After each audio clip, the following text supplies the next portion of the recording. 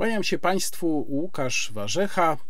Witam w filmie, który na pewno będzie długi. Bardzo Państwu dziękuję za Państwa obecność tutaj, no i też za Państwa wytrwałość w oglądaniu tych filmów. Przypominam, że ostatnio pojawił się na moim kanale nowy format, który na pewno będzie miał też zastosowanie do tego wideoblogu, zwłaszcza jeżeli tak jak przewiduję, jego długość sięgnie może nawet około 3 godzin, zobaczymy.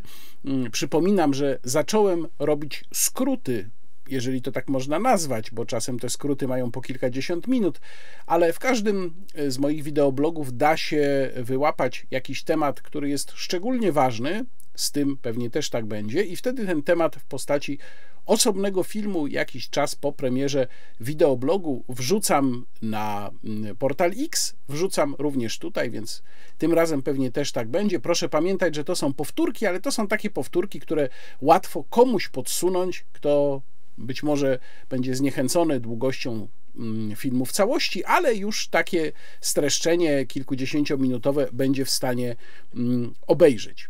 Bardzo dziękuję za wszystkie subskrypcje, wszystkie odtworzenia, za wszystkie Państwa komentarze i przede wszystkim bardzo nisko kłaniam się moim mecenasom, przypominając, że ten kanał i ten format jest możliwy tylko dzięki Państwu właśnie i dzięki Państwa wsparciu, które jest możliwe tutaj poprzez mechanizm wesprzyj bezpośrednio na YouTubie, no albo poprzez e, portal zrzutka.pl, adres podany jak zawsze w opisie filmu. Muszę powiedzieć, że pracowałem nad tym filmem wyjątkowo długo, ponieważ e, wymagało to przejrzenia, oczywiście nie przeczytania strona po stronie, bo wtedy pewnie musiałbym na to zużyć co najmniej miesiąc ale przejrzenia możliwie wnikliwego kilkuset stron dokumentów związanych przede wszystkim z regulacjami klimatycznymi, ale nie tylko. Y, więc tym bardziej jestem wdzięczny za wszystkie Państwa subskrypcje, które z tego filmu wynikną, a również szczególnie za wsparcie, no bo to jest naprawdę dosyć czasochłonna praca. I zanim jeszcze przejdę do pierwszego tematu, to powiem parę słów na mm, temat debaty, która ma się dzisiaj. Y, mówię teraz w czasie przyszłym, ale ten czas przyszły odnosi się do momentu, kiedy nagrywam wideoblog. Pewnie on się pojawi na moim kanale już po tym fakcie. Mm, mówię tutaj o debacie na temat energetyki, która ma się odbyć na kanale Zero Krzysztofa Stanowskiego i którą ma poprowadzić pan dr Tomasz Rożek. Ja zwróciłem uwagę, że ta debata będzie jednostronna, ponieważ wśród czworga zaproszonych gości na czele z jedną osobą, której nazwiska tutaj nie wymienię, a o której mam wyjątkowo złe zdanie, jako o kimś, kto między innymi winny jest temu, że Polacy no, dali się wpędzić w sytuację, w jakiej jesteśmy, o której będę mm, mówił jeszcze w tym filmie. Otóż e, uważam, że ten skład został po prostu sformowany, zgromadzony, dobrany bardzo jednostronnie. Oczywiście pojawia się tutaj wyjaśnienie, i takie wyjaśnienie przedstawił Krzysztof Stanowski. Nie wiem, czy z niewiedzy, czy to jest tak zwane udawanie Greka, zwane również rżnięciem głupa, że przecież to jest debata o energetyce, a nie o klimacie, nie o polityce klimatycznej. No tylko, że nie ma dzisiaj w kontekście unijnym debaty o energetyce bez tematu polityki klimatycznej Unii Europejskiej. To są rzeczy ściśle powiązane i jestem przekonany, zanim jeszcze ta debata tak zwana, czy pseudodebata się odbyła, że oczywiście temat polityki klimatycznej tam się z konieczności pojawi. Y, nie będzie w tej debacie nikogo, kto reprezentowałby stanowisko jednoznacznie sceptyczne wobec polityki klimatycznej Unii Europejskiej. Y, I oczywiście to nie muszę być ja, natomiast powiem tutaj o sobie, dlatego że do mnie pod wpływem mojej krytyki skierował zaproszenie, jeżeli można to tak nazwać, pan Tomasz Rożek, to zaproszenie nie było zaproszeniem jednak do udziału w debacie. Ono było wyłącznie zaproszeniem do tego, żebym się połączył z debatującymi zdalnie i mógł zadać pytanie. No tak ono brzmiało. Mm, ja jestem zbyt doświadczonym dziennikarzem, żebym nie wiedział, jak to działa jeżeli y, chciałoby się mieć tam kogoś na identycznych zasadach jak reszta dyskutujących z odrębnym stanowiskiem, to ten ktoś musiałby siedzieć w studiu. W sytuacji, kiedy przykładowo moje, ale jak podkreślam jeszcze raz, to nie muszę być ja, ale przykładowo moje stanowisko różni się bardzo zasadniczo od stanowiska przynajmniej części osób tam obecnych, to propozycja jakiegoś zdalnego połączenia na, nie wiem, parę minut, 10 minut, na minutę, trudno powiedzieć, bo w, w zaproszeniu pana Rożka to się nie pojawiło, jest oczywiście no, pewnego rodzaju kpiną, dlatego że to nie umożliwi reakcji, skomentowania, odniesienia się do ewentualnych późniejszych manipulacji. W związku z czym ja takim listkiem figowym do tej debaty być nie zamierzałem i dlatego to zaproszenie odrzuciłem. Widzowie ocenią e, jak im się taki pomysł na tak zwaną debatę podoba. Ja biorę tutaj słowo debata w cudzysłów i zapraszam Państwa do obejrzenia tego wideoblogu, w którym Państwo dowiedzą się, mam nadzieję, wielu rzeczy na temat właśnie polityki klimatycznej Unii Europejskiej, tak jak ona ma wyglądać po ostatnich decyzjach Parlamentu Europejskiego. No i będą Państwo to również mogli odnieść do tego, co w tej mm, dzisiejszej debacie padnie, czy też w momencie, kiedy Państwo oglądają ten film, zapewne już padło. Zapraszam. I że po prostu nie pozwolimy, żeby planeta nam się spaliła. To jest zdrada. Für Deutschland. Promowanie ekologicznej mobilności jest kluczowym elementem Europejskiego Zielonego Ładu, a budynki mogą odgrywać ważną rolę w zapewnianiu niezbędnej infrastruktury nie tylko do ładowania pojazdów elektrycznych, ale również dla rowerów. Przejście na aktywną mobilność, taką jak jazda na rowerze, może znacznie zmniejszyć emisję gazów cieplarnianych z transportu. W związku ze wzrostem sprzedaży rowerów z napędem elektrycznym i innych pojazdów kategorii L oraz w celu ułatwienia instalacji punktów ładowania na późniejszym etapie w nowych budynkach mieszkalnych należy wymagać wbudowanego okablowania dla tych pojazdów, a w przypadku, gdy jest to wykonalne z technicznego i ekonomicznego punktu widzenia, należy wymagać wbudowanego okablowania lub infrastruktury kanałowej w budynkach mieszkalnych poddawanych znaczącej renowacji jak określono w planie, w zakresie celów klimatycznych na 2030 rok zwiększenie udziału czystego i wydajnego transportu prywatnego i publicznego, takiego jak transport rowerowy, radykalnie zmniejszy zanieczyszczenie powodowane przez transport i przyniesie znaczne korzyści obywatelom i społecznościom. Brak miejsc parkingowych dla rowerów zarówno w budynkach mieszkalnych, jak i niemieszkalnych, jest poważną barierą dla upowszechnienia ruchu rowerowego. Wymogi unijne i krajowe kodeksy budowlane mogą skutecznie pomagać w przejściu na czystszą mobilność dzięki zawartym w nich wymogom dotyczącym minimalnej liczby miejsc parkingowych dla rowerów a budowa miejsc parkingowych dla rowerów i związanej z nimi infrastruktury na obszarach, gdzie rowery są rzadziej wykorzystywane, może prowadzić do zwiększenia ich wykorzystania. Wymóg zapewnienia miejsc parkingowych dla rowerów nie powinien być uzależniony od dostępności miejsc parkingowych dla samochodów, ani być z nią powiązany, mając na względzie, że w pewnych okolicznościach miejsca te mogą być niedostępne. Minimalne wymogi dotyczące parkowania samochodów w kodeksach budowlanych powinny zostać zastąpione maksymalnymi wymogami dotyczącymi parkowania samochodów, w szczególności na obszarach, które są już dobrze obsługiwane przez transport publiczny i opcję aktywnej mobilności. Państwa członkowskie powinny wspierać władze lokalne w opracowywaniu i wdrażaniu planów zrównoważonej mobilności miejskiej ze szczególnym naciskiem na integrację polityki mieszkaniowej ze zrównoważoną mobilnością i planowaniem miejskim, zapewniając w ten sposób i nadając priorytet dostępności wszystkich nowych, dużych inwestycji miejskich za pomocą aktywnej mobilności i transportu publicznego.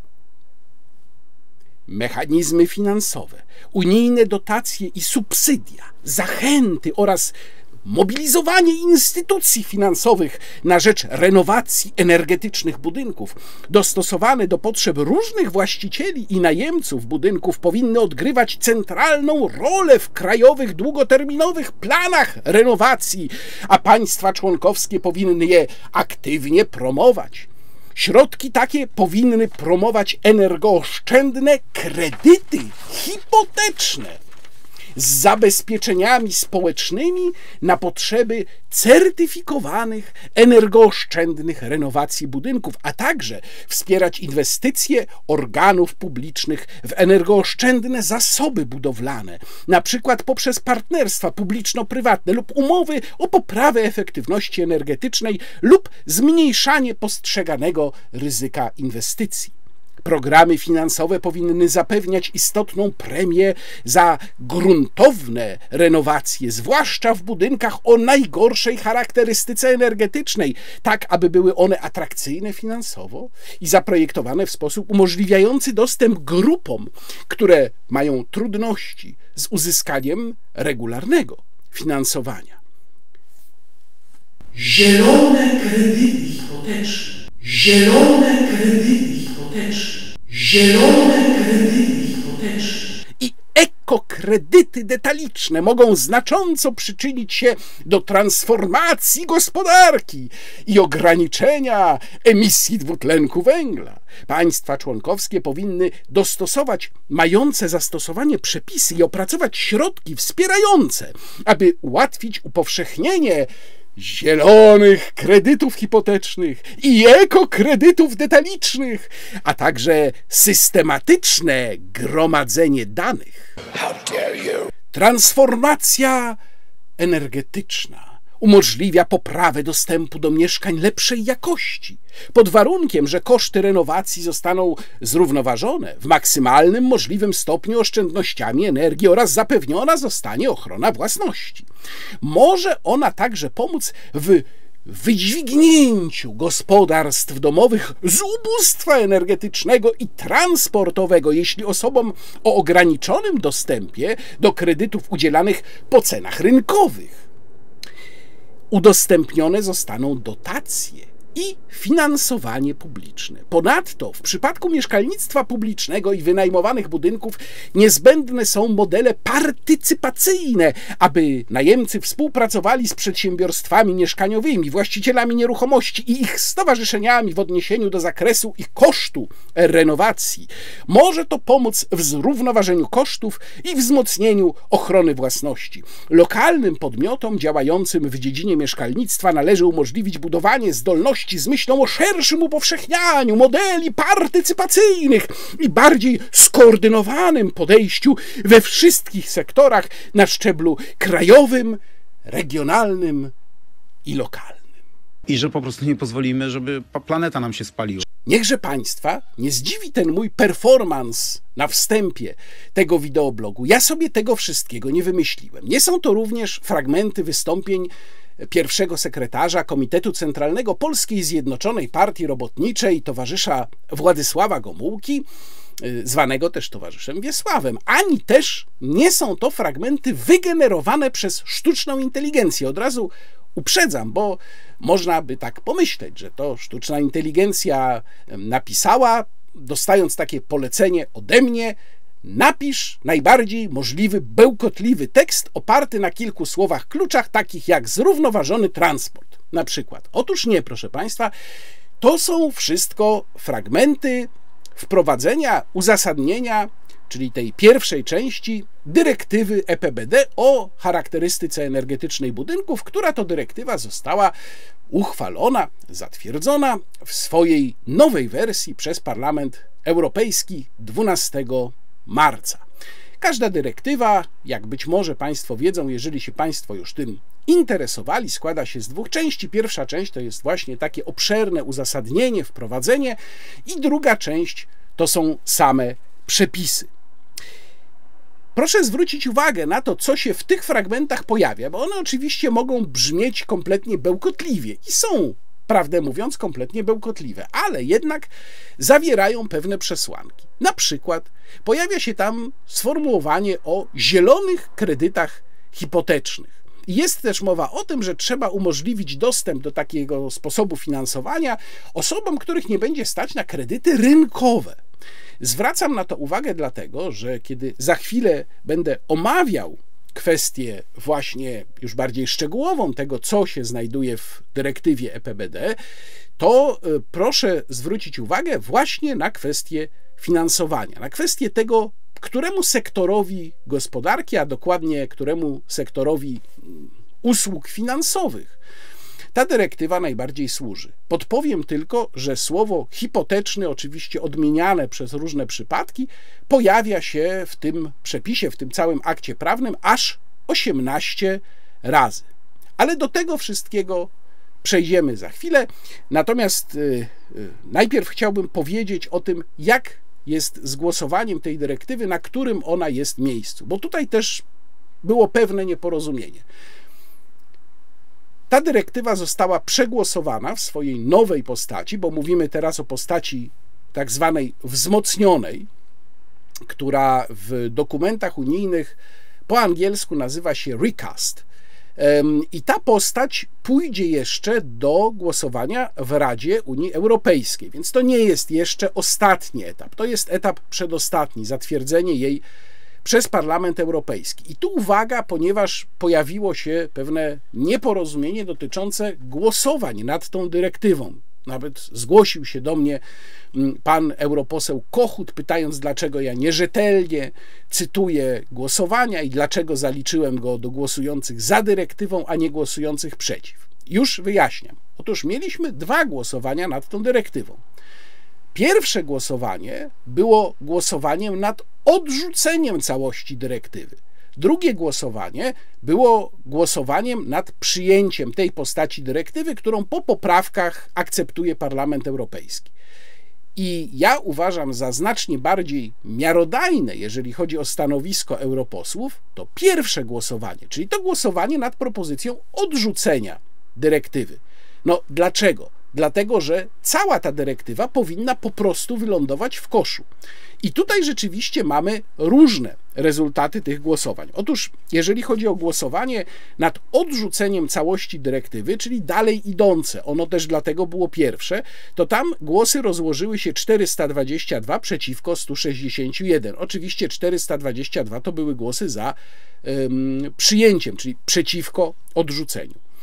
I tutaj podałem na Twitterze listę europosłów, którzy głosowali przeciwko wyrzuceniu dyrektywy EPBD do, go, do kosza. Pozwolą Państwo, że tę listę odczytam jeszcze raz. Znaczy, odczytam ją tutaj po raz pierwszy, bo już wrzucałem ją na Twittera. To byli Państwo posłowie: Magdalena Adamowicz, Jarosław Duda, Tomasz Frankowski, Andrzej Halicki, Elżbieta Hübner, Adam Jarubas, Jarosław Kalinowski, Włodzimierz Karpiński, doskonale nam znany, Ewa Kopacz, Elżbieta Łukacijewska, Jan Olbrycht, Róża Thun und Hohenstein, Marek Balt, Robert Biedroń, Włodzimierz Cimoszewicz, Łukasz Kochut, Bogusław Liberacki i Sylwia Spurek. Natomiast w głosowaniu drugim, czyli tym, które dotyczyło przyjęcia dyrektywy ze wszystkimi poprawkami naniesionymi przez Parlament Europejski do pierwotnej propozycji Komisji Europejskiej prze, przedstawionej w 2021 roku, rozkładało się to tak. Za dyrektywą zagłosowali państwo Róża Tunun-Hohenstein, Marek Balt, Robert Biedroń, Włodzimierz Cimoszewicz, Bogusław Liberacki i Sylwia Spurek. Wstrzymali się z kolei posłowie z grupy Europejskiej Partii Ludowej z delegacji Platformy Obywatelskiej, czyli państwo Magdalena Adamowicz, Jarosław Duda, Tomasz Frankowski, Andrzej Halicki, Elżbieta Hibner, Adam Jarubas, Jarosław Kalinowski, Włodzimierz Karpiński, Ewa Kopacz, Elżbieta Łukacijewska, Janusz Lewandowski i Jan Olbrycht. Przy czym zwracam uwagę, że wstrzymanie się oczywiście niczego tutaj nie załatwia. Wstrzymanie się faktycznie jest głosowaniem za dyrektywą. Natomiast przeciw w tym pierwszym głosowaniu był wyłącznie pan, e, spoza oczywiście delegacji Prawa i Sprawiedliwości, był wyłącznie pan poseł Leszek Miller, a w tym drugim głosowaniu rzeczywiście przeciwko były, byli już y, panowie Miller i Łukasz Kochut, więc tutaj faktycznie w tym drugim głosowaniu pan Łukasz Kochut zagłosował przeciwko przyjęciu mm, dyrektywy, no ale w tym pierwszym głosowaniu, tam gdzie chodziło o odrzucenie całości dyrektywy, odrzucenia całości dyrektywy nie chciał. A zatem następnym etapem będzie zatwierdzenie dyrektywy przez Radę. To się oczywiście będzie odbywało bez możliwości zgłoszenia weta. Teraz przedstawię Państwu najważniejsze postanowienia tej dyrektywy. Przy czym przypominam tutaj, to jest bardzo ważne, że mamy do czynienia z dyrektywą. Co to oznacza? Przypomnę, że akty prawne Unii Europejskiej dzielą się na dyrektywy i rozporządzenia.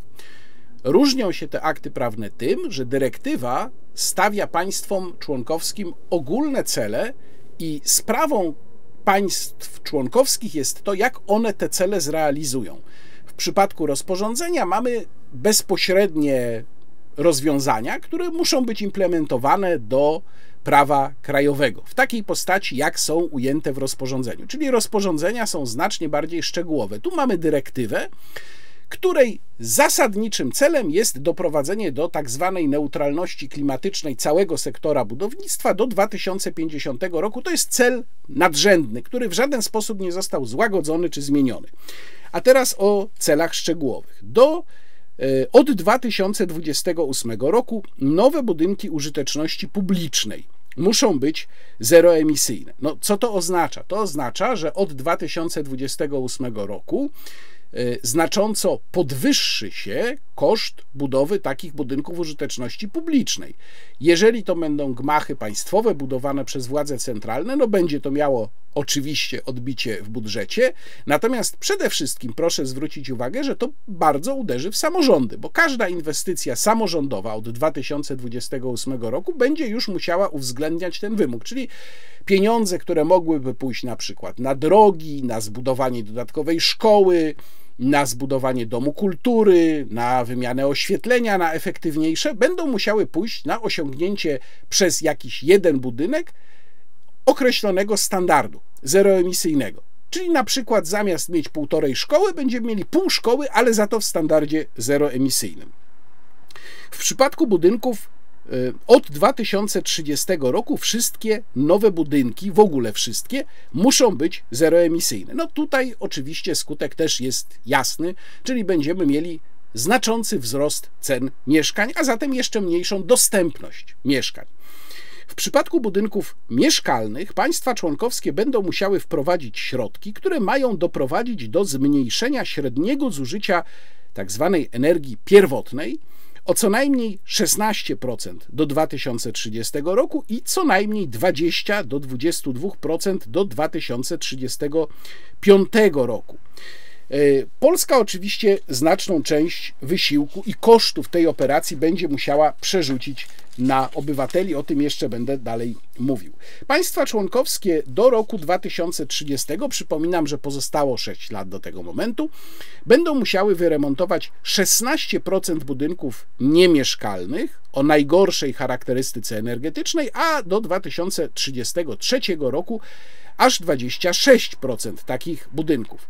Ja e, w jednym z niedawnych e, wideoblogów e, omawiałem raport Institut Rousseau, który zbadał szczegółowo siedem krajów pod kątem w ogóle Zielonego Ładu i okazało się, że w Polsce spośród tych siedmiu krajów jest najwyższy odsetek budynków wymagających renowacji zgodnie z dyrektywą EPBD, a mianowicie aż 83%. No, czyli oczywiście te inwestycje u nas do, w odniesieniu do tych procentowych wymogów będą stosunkowo największe. Jeśli będzie to wykonalne z technicznego i ekonomicznego punktu widzenia. Do 2030 roku państwa członkowskie będą musiały stopniowo montować instalacje słoneczne na budynkach publicznych i niemieszkalnych, zależnie od ich wielkości, oraz na wszystkich nowych budynkach mieszkalnych. Dwie uwagi do tego punktu. Po pierwsze, on zawiera takie zastrzeżenie, które w wielu miejscach tej dyrektywy się pojawia, czyli jeśli będzie to wykonalne z technicznego i ekonomicznego punktu widzenia. I nad tym zastrzeżeniem trzeba się na chwilę zatrzymać, bo e, obrońcy dyrektywy EPBD powiedzą Państwu, no ale przecież tu jest właśnie takie zastrzeżenie, czyli jeżeli coś będzie technicznie niewykonalne albo będzie niewykonalne ekonomicznie, no to nie trzeba będzie tego robić. No tylko pytanie brzmi, co to znaczy niewykonalne ekonomicznie? Bo powiedzmy, że technicznie niewykonalne, no jeszcze jakoś można to w twardych kategoriach określić, ale niewykonalne ekonomicznie, co to znaczy? Czy to znaczy przekroczenie określonej wartości, określonego procenta wartości budynku jako całości? Czy to znaczy na przykład, że jeżeli dany właściciel nieruchomości nie będzie miał na to funduszy? No chyba nie, bo jeżeli nie będzie miał funduszy, to tutaj ma wkroczyć państwo. W dyrektywie są miejsca, które mówią o tym, że wtedy państwo tym najuboższym ma obowiązek pomóc. Co prawda odnosi się to do prywatnych właścicieli, nie na przykład do samorządów, więc nie wiem jak tutaj to będzie wyglądało. Ale z kolei, jeżeli ktoś mm, może pozwolić sobie, tu przywołuję ten fragment, który czytałem na początku, jeden z tych fragmentów, może pozwolić sobie na kredyt, no to będzie musiał ten kredyt wziąć. To znaczy, że jest to wykonalne ekonomicznie, nawet jeżeli ten kredyt go mocno obciąży, nawet jeżeli on spłacając ten kredyt będzie musiał zrezygnować z wielu innych rzeczy, o tym jeszcze będę więcej mówił w dalszym ciągu tej części wideoblogu, no ale to będzie wykonalne ekonomicznie, prawda? Bo pojawią się odpowiednie kredyty, te właśnie zielone ekokredyty, no i będzie można taki kredyt wziąć. Czyli tak naprawdę to zastrzeżenie o wykonalności technicznej, a zwłaszcza wykonalności ekonomicznej, nie ma żadnej wartości. To jest pustosłowie. Zawsze można uzasadnić, że coś jest ekonomicznie wykonalne albo z pomocą państwa, albo niech się człowiek zadłuży po uszy, czy poczubek głowy, ale ekonomicznie jest to, prawda, wykonalne. Trzeba też zauważyć, bo przypomnę, że mówimy tutaj o punkcie, który dotyczy akurat instalacji paneli fotowoltaicznych, że przecież panele fotowoltaiczne nie wszędzie mają sens. Budynki są umiejscowione w różnych miejscach, również w takich, gdzie słońce kompletnie nie dochodzi. No to co wtedy? Jak traktować to, te kwestie wykonalności technicznej? Czy to się kwalifikuje jako niewykonalność techniczna? Czy jeżeli dom stoi permanentnie w cieniu, bo tak akurat jest położony, to też musi mieć te panele? Nie wiadomo.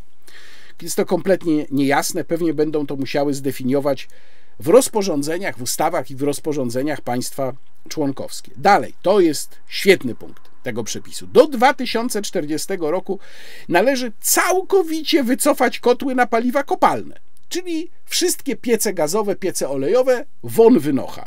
Od 2025 roku nie będzie można dotować niezależnych kotłów na paliwa kopalne. To oczywiście oznacza przerzucenie się obowiązkowe przede wszystkim na pompy ciepła. To jest ten, teraz ta fiksacja Unii Europejskiej, pompy ciepła, które są i prądożerne, i jednocześnie wymagają dostosowania całej nieruchomości, żeby taka pompa ciepła mogła efektywnie w niej działać. W przypadku nieruchomości starszych, budowanych w starych technologiach, wyposażenie ich w pompę ciepła no albo nie ma sensu, albo wymaga gigantycznych inwestycji, właściwie przebudowy całej nieruchomości. Więc znów oczywiście są to gigantyczne koszty.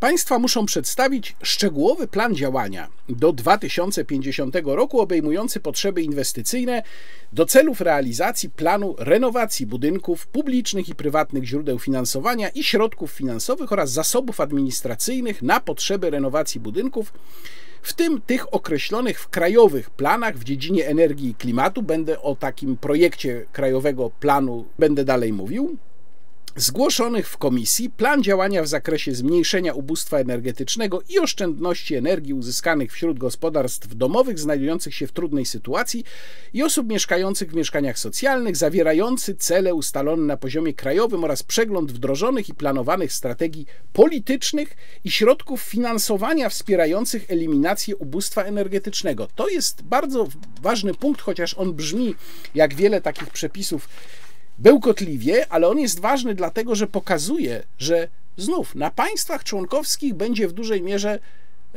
opierało się znalezienie pieniędzy, a pieniądze na wykonanie dyrektywy EPBD w Polsce muszą być ogromne i są szacowane w tej chwili już nie na, jak to wcześniej mówiłem, opierając się na artykule Newsweeka sprzed jakiegoś czasu, bilion złotych, ale proszę Państwa, półtora biliona złotych.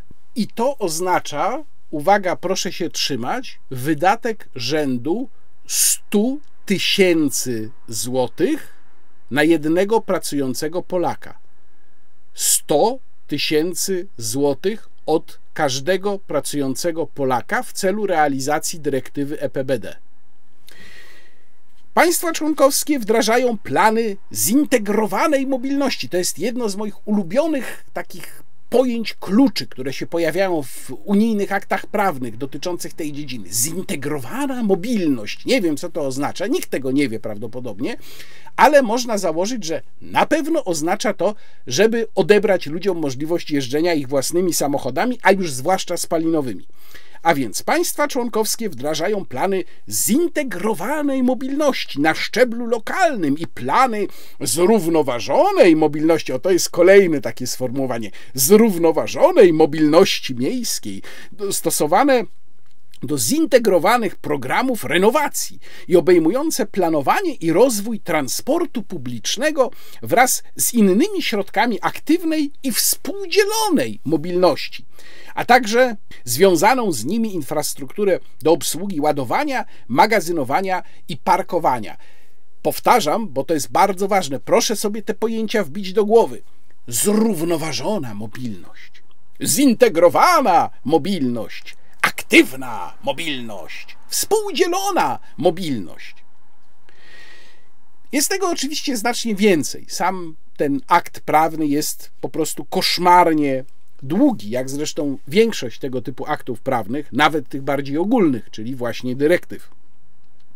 Natomiast oczywistą konsekwencją jest wymuszenie na właścicielach tych nieruchomości zaangażowania się w kredyty. I w ogóle kwestia kredytowania, kwestia stworzenia narzędzi finansowych, specjalnych narzędzi finansowych pod dyrektywę EPBD jest właściwie podawana zupełnie wprost. To się wprost pojawia w samym tym przepisie. Jest mowa przecież o tych właśnie e, ekokredytach.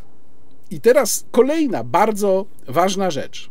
Dyrektywa jest więc tak naprawdę prezentem dla sektora bankowego i w takich kategoriach należy ją widzieć. To jest zresztą w ogóle prezent dla określonych sektorów. No na przykład jeżeli weźmiemy pompy ciepła, czy w Europie istnieją wystarczające moce produkcyjne, żeby wyprodukować wystarczająco dużo pomp ciepła, żeby każde źródło ciepła na paliwa kopalne zastąpić pompą ciepła.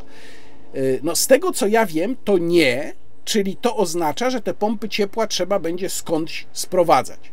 A kto jest dużym producentem nie tylko pomp ciepła, ale w ogóle różnych rzeczy, na przykład jak się okazuje ostatnio samochodów na baterie, no to chyba nie muszę wymieniać nazwy tego kraju, bo wszyscy to wiedzą. A więc polityka klimatyczna Generalnie rzecz biorąc, łącznie z jej segmentem rolniczym, o którym też dużo ostatnio mówiłem, tutaj polecam ostatni ostatnią rozmowę w cyklu Rozmowa niekontrolowana z panem Karolem Olszanowskim, one się jawią, e, skutki tych polityk się jawią jako prezenty dla różnych interesariuszy. Prezent dostaje sektor bankowy, prezent dostają Chińczycy, prezent dostają kraje Mercosur, tylko najmniej prezentów dostajemy my, czyli obywatele Unii Europejskiej. Koszt, jak powiedziałem, szacowany jest na półtora biliona złotych koszt w Polsce, tylko w Polsce. Natomiast o jeszcze o koszcie ogólnym będę za chwilę mówił więcej, koszcie w całej Unii Europejskiej. Niech na kredyty z tego półtora biliona złotych przypadnie tylko połowa. To mamy rynek kredytów wartości 750 miliardów złotych. 750 miliardów złotych rynku kredytowego w Polsce. I tutaj jeszcze jedna ważna uwaga. Oczywiście to będzie tak, że realizacja dyrektywy EPBD napędzi niektóre sektory gospodarki i o tym zresztą w ocenach, w analizach skutków tej dyrektywy, które były sporządzane i dla Komisji Parlamentu Europejskiego, i dla Komisji Europejskiej, mm, jest mowa. Tylko, że to jest proces kompletnie antyrynkowy. To nie jest proces oparty na wolnym wyborze obywateli, którzy dochodzą do wniosku: chcę mieć oszczędniejszy dom, stać mnie na to, wyremontuję sobie, zrobię sobie taki dom. Albo chcę mieć zeroemisyjny dom, taki dom sobie wybuduję. A jeżeli ktoś nie chce i chce mieć dom ogrzewany tradycyjnie piecem gazowym, proszę bardzo. Jeżeli go nie stać na przykład na pompę ciepła, proszę bardzo, ma taki dom. Nie, tutaj jest przymusowe przekierowanie gigantycznych pieniędzy na określone sektory gospodarki, które w normalnych warunkach, warunkach wolnego wyboru, warunkach rynkowych, wcale by się tak dynamicznie nie rozwijały. I tutaj muszę znów przypomnieć um, słynne dziełko Frederika Bastiata, co widać, a czego nie widać, i pierwszy rozdział w tej książeczce o zbitej szybie, gdzie, jak wiadomo, jest opisana historia synka Jakuba Poczciwca, który to synek Jakuba Poczciwca wybija szybę w jednym z domów, no i wtedy ludzie pocieszają Jakuba Poczciwca, mówiąc, no tak, może się stało coś niedobrego, ale z drugiej strony, jakby szyby nie były wybijane, to co by szklarze robili? No tylko Bastia w tym momencie wyjaśnia, że właściciel tego domu, gdyby mógł, to by nie kierował swoich pieniędzy na naprawę zbitej szyby to właśnie działania synka Jakuba Poczciwca wymusiły na nim to, że on musi te pieniądze wydać na zbitą szybę. Gdyby nie musiał ich wydawać na zbitą szybę, to wydałby je u szewca, u piekarza, u rymarza, w kawiarni itd., tak itd., tak na coś, czego on naprawdę chce. I tutaj mamy bardzo podobną sytuację. Jeżeli będziemy musieli wydać gigantyczne pieniądze na dostosowanie naszego domu do wymogów dyrektywy EPBD, o ile nas w ogóle będzie na to stać, albo jeżeli będziemy zmuszeni wziąć kredyt i spłacać ten kredyt przez kilkadziesiąt lat co miesiąc, żeby doprowadzić naszą nieruchomość do odpowiedniego niskoemisyjnego czyli tak zwanego prawie zeroemisyjnego, bo takie określenie jest używane w tych przepisach, albo zeroemisyjnego standardu, to nie wydamy tych pieniędzy na jakiś sprzęt elektroniczny, na wakacje, na ubrania dla siebie czy dla dziecka, na dodatkowe zajęcia dla naszego dziecka i tak dalej, i tak dalej. Na mnóstwo innych rzeczy, na które byśmy chcieli te pieniądze wydać, ich nie wydamy, bo wydamy je na to, żeby planeta się nie spaliła. I że po prostu nie pozwolimy, żeby planeta nam się spaliła. Przeciwnikom Zielonego Ładu zarzuca się często, że nie biorą pod uwagę oszczędności które z tego Zielonego Ładu wynikają. No to chciałbym Państwu trochę o tych spodziewanych oszczędnościach, żeby uniknąć tego zarzutu, przeczytać. No więc dokumenty, analizy mówiące o tym, jakie mają być korzyści, tak, one istnieją oczywiście, też je przeglądałem. No na przykład analiza, y, która dotyczy pierwotnej propozycji Komisji Europejskiej z 2021 roku, no czyli bazuje na tych mm, rozwiązaniach, które tam wtedy były zawarte. One były odrobinę surowsze niż to, co teraz wyszło z Parlamentu Europejskiego. I te rozwiązania, co ważne, nie uwzględniają systemu ETS-2, który wchodzi od 2027 roku. Mówi się o oszczędnościach y, rzędu od 12 do 28%. Y, oszczędnościach w rachunkach za energię, y, czyli również za ogrzewanie, za prąd za ogrzewanie, y, to jest taki rozwiew pomiędzy scenariuszem umiarkowanym a optymistycznym. Od 12 do 28% do 2000 czy w 2050 roku. No, czyli będziemy musieli wydać na przykład do, nie wiem, 30, 40, 50% wartości nieruchomości na jej dostosowanie do standardów zeroemisyjnych, żeby potem mieć oszczędności rzędu maksymalnie 28%. Przy czym uwaga, te oszczędności wynikają również ze sztucznie nałożonego ograniczenia, bo przecież one wynikają między innymi z tego, że już przy produkcji energii elektrycznej jest narzucony przez Unię Europejską system ETS, czyli my już płacimy w cenie prądu za uprawnienia do emisji CO2. Gdyby nie było tego sztucznie narzuconego antyrynkowego systemu, to te oszczędności też by nie były takie duże, one by były znacznie mniejsze. We wszystkich analizach jest również mowa o tym, że bazy danych na temat stanu budownictwa są bardzo niepełne i w ogóle trudno jest oceniać te koszty miarodajnie, bo państwa dostarczają tak ułomnych danych. Jest też mowa o tym, że ma spaść odsetek osób zagrożonych ubóstwem energetycznym ze względu na spadek cen ogrzewania czy też prądu. Ale najpierw te osoby musiałyby mieć pieniądze na przeprowadzenie tych renowacji. No a skąd te pieniądze będą pochodzić? Jeżeli mówimy o grupie osób najgorzej sytuowanych, no to jasne jest, że one same tych pieniędzy nie znajdą.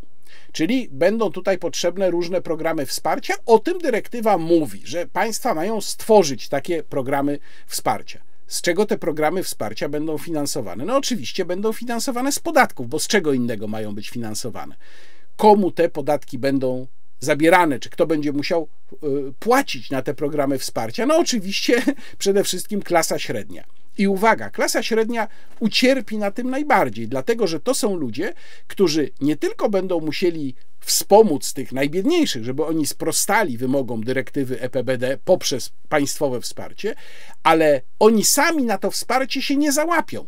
Czyli oni, jeżeli będą potrzebowali zmodernizować swoją nieruchomość, to będą musieli bez wsparcia albo z minimalnym wsparciem sami wyłożyć na to pieniądze. No, ewentualnie będą musieli zapożyczyć się, czyli wziąć kredyt komercyjny, nie taki specjalny, na specjalnych warunkach dla tych zagrożonych ubóstwem energetycznym, tylko normalny, komercyjny kredyt, prawdopodobnie hipoteczny. I to będzie właśnie ta sytuacja, o której wiele osób mówi, kiedy to ktoś jest właścicielem swojej nieruchomości, niepodzielnym, no ale przecież kiedy weźmie kredyt hipoteczny, to przestaje już być tym właścicielem. Jest współwłaścicielem z bankiem. Bank na podstawie umowy o kredycie hipotecznym może mu również tę nieruchomość w pewnym momencie po prostu zabrać, jeżeli kredyt hipoteczny nie będzie odpowiednio spłacany.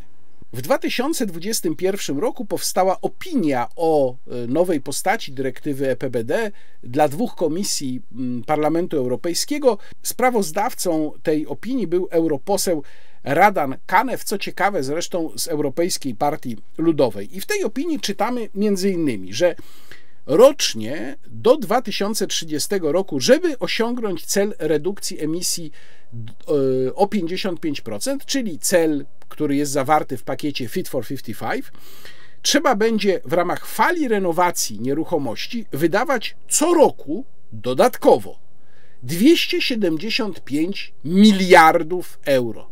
Co roku tylko na ten jeden segment Zielonego Ładu 275 miliardów euro. W sumie przez te 6 lat daje to bilion 650 miliardów euro. Bilion 650 miliardów euro tylko na renowację budynków i tylko do 2030 roku.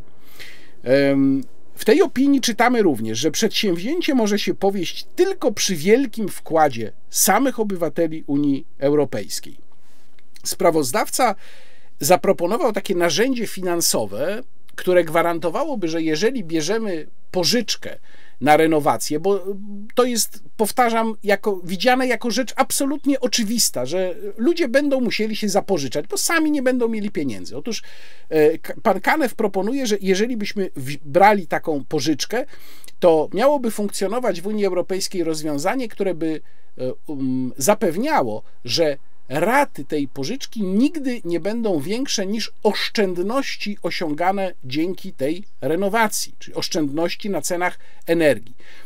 No ale o ile widzę, to rozwiązanie nie znalazło odbicia w samej dyrektywie. Była też e, mowa w tej opinii o tym, że progiem dla stopnia renowacji powinno być około 50% wartości budynku, co oznacza, że już zakłada się, jeżeli taki próg był proponowany w tej opinii, że w wielu przypadkach wartość renowacji, tej mającej zapewnić zeroemisyjność, może przekroczyć wartość, po, połowę wartości budynku. Być może ona może w ogóle przekroczyć wartość niektórych budynków. Powtórzę tutaj, że musimy rozumieć, że mamy do czynienia z procesem całkowicie sztucznie napędzanym. To jest proces mniej więcej tak dalekiej, głębokiej interwencji w rynek, jak proces uwalania tradycyjnej spalinowej motoryzacji w Unii Europejskiej, tylko że w innym sektorze. Tutaj też mamy przekierowanie gigantycznych pieniędzy do określonych sektorów, a więc sektora bankowego, sektora produkującego rozwiązania związane z zeroemisyjnością, sektora materiałów budowlanych. I teraz zostawiam Państwa na razie z takim pytaniem: czy Państwa zdaniem tego typu decyzje mogą być podejmowane bezinteresownie, z czystej głupoty? Czy Państwa zdaniem tego typu decyzje mogą nie być podejmowane pod wpływem lobbingu określonych sektorów? Nie wiem, być może tak. Dlatego właśnie zostawiam z tym pytaniem Państwa. I że po prostu nie pozwolimy, żeby planeta nam się spaliła. To jest zdrada. Für Deutschland. A teraz parę słów na temat wspomnianej przeze mnie polskiej strategii energetycznej, a dokładnie nowelizacji czy, czy nowej wersji Krajowego Planu na Rzecz Energii i Klimatu. Tak się ten dokument nazywa. Mm, y, dokument ma 116 stron, ale zanim powiem o samym dokumencie, to jeszcze zachęcam Państwa do lektury mojego tekstu, który dzisiaj ukazał się w Rzeczpospolitej. Ten tekst, link oczywiście zamieszczam w opisie filmu. Ten tekst jest polemiką z obszernym artykułem Konrada Szymańskiego, byłego ministra do spraw europejskich, który z kolei ukazał się w poprzednim wydaniu Plusa Minusa, też w Rzeczpospolitej. Nosił tytuł Klimatyczna łamigłówka łamigłówka prawicy. I Konrad Szymański mm, wychodził tam z takiego założenia, które ja doskonale znam, bo ja to słyszałem wielokrotnie od osób kojarzonych z prawą stroną czy, czy z konserwatystami, takimi zielonymi konserwatystami. To znaczy, e, no, mamy to, co mamy, mamy tę politykę Zielonego Ładu, przecież my tego nie zatrzymamy, e, to jest nie do zawrócenia, więc postarajmy się po prostu wyciągnąć z tego jak najwięcej od siebie. I ja w swoim tekście, w swojej polemice z tekstem Konrada Szymańskiego napisałem, że to jest trochę tak, jakby jakaś banda nam się włamała do naszego domu, przyprowadziła ze sobą statko świń, wprowadziła te świnie do naszego salonu wypielęgnowanego, powiedziała: Teraz tutaj będzie panie chlew na świnie. No i y, postawa Konrada Szymańskiego i osób, które podobnie do tego podchodzą, jest taka, y, jakby ktoś, y, właściciel tego domu, powiedział: no dobra, no już to trudno, prawda? No są te świnie, to są, jest to obiektywny fakt, no to ponegocjujmy może, żeby tam dało się czasem telewizję jeszcze obejrzeć, może żeby tutaj troszkę miejsca nam ci, ci, te bandziory zostawiły, żebyśmy mogli sobie na przykład obiad też zjeść w tym naszym salonie, a może kiedyś nawet coś nam odpalą, jak na tych świniach, które w naszym salonie są, zarobią. No nie, normalny człowiek w takiej sytuacji no jakoś tam może stara się y, na bieżąco sobie poradzić, ale przede wszystkim ma jedną podstawową myśl w głowie: jak tych bandytów z tymi świniami wyrzucić ze swojego domu. I to powinna być nasza myśl, bo cały Zielony Ład, cała koncepcja, nie tylko dyrektywa EPBD, o której tutaj najwięcej mówię, ale cały Zielony Ład jest zbudowany na założeniu, po pierwsze, pogwałcenia i to dramatycznego pogwałcenia reguł wolnego rynku, po drugie, pogwałcenia wolności obywatelskich. My mamy być zmuszeni do zachowań, których nie chcemy, które nas będą mnóstwo kosztować i które nam kompletnie nie odpowiadają. I dlatego właśnie Zielony Ład należy odrzucić w całości i do tego należy zmierzać. W jaki sposób się to może odbyć? Moim zdaniem coraz bardziej realny jest wariant jakiegoś bardzo głębokiego i wstrząsającego Unią Europejską, łącznie z Polską, buntu społecznego. A teraz wracam do nowego krajowego planu na rzecz energii i klimatu, który to plan ma w sumie 116 stron, jest datowany na ten rok. Najważniejsze założenia tego planu są następujące. Do 2030 roku ma być 35% redukcji emisji CO2 w relacji do 90 roku. Oczywiście mówimy tu o Polsce. Mają się złożyć na to również redukcje w sektorach, które już obejmie ETS-2. Przypomnę, wchodzi od 2027 roku. Obejmie budownictwo i transport, czyli będziemy płacić dodatkowe podatki za ogrzewanie paliwami kopalnymi naszych domów i w benzynie, a także we wszystkim, co jest związane z transportem, co jest transportowane po prostu. Prognoza mówi, że w 2030 roku Polska ma czerpać 50,1 procenta energii elektrycznej ze źródeł odnawialnych. Największą część tej energii mają dostarczać lądowe siłownie wiatrowe. Rząd przyznaje, że bardzo trudne będzie przejście na odnawialne źródła energii w ogrzewaniu, a koszt renowacji starszych budynków może przekroczyć korzyści wynikające z tej renowacji. Rząd również oznajmia w tym planie, że zazielenienie systemów ogrzewania zbiorczego jest w praktyce niemożliwe.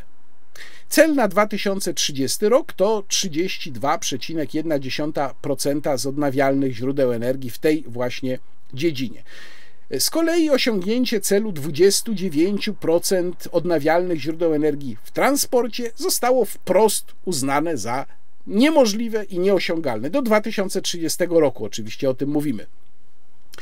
W 2030 roku, to jest prognoza zawarta w strategii, w Polsce ma być zarejestrowanych raptem 1,46 miliona samochodów na baterie i samochodów typu plug-in hybrid Czyli to nie są tylko samochody bateryjne, których pewnie będzie znacznie, znacznie mniej. Większość z tego niespełna półtora miliona to będą właśnie hybrydy ładowane z gniazdka, czyli w praktyce po prostu hybrydy, no bo większość właścicieli tych samochodów plug-in hybrid nie ładuje ich yy, tak, jak się ładuje samochody elektryczne, tylko używa ich jak normalnych hybryd.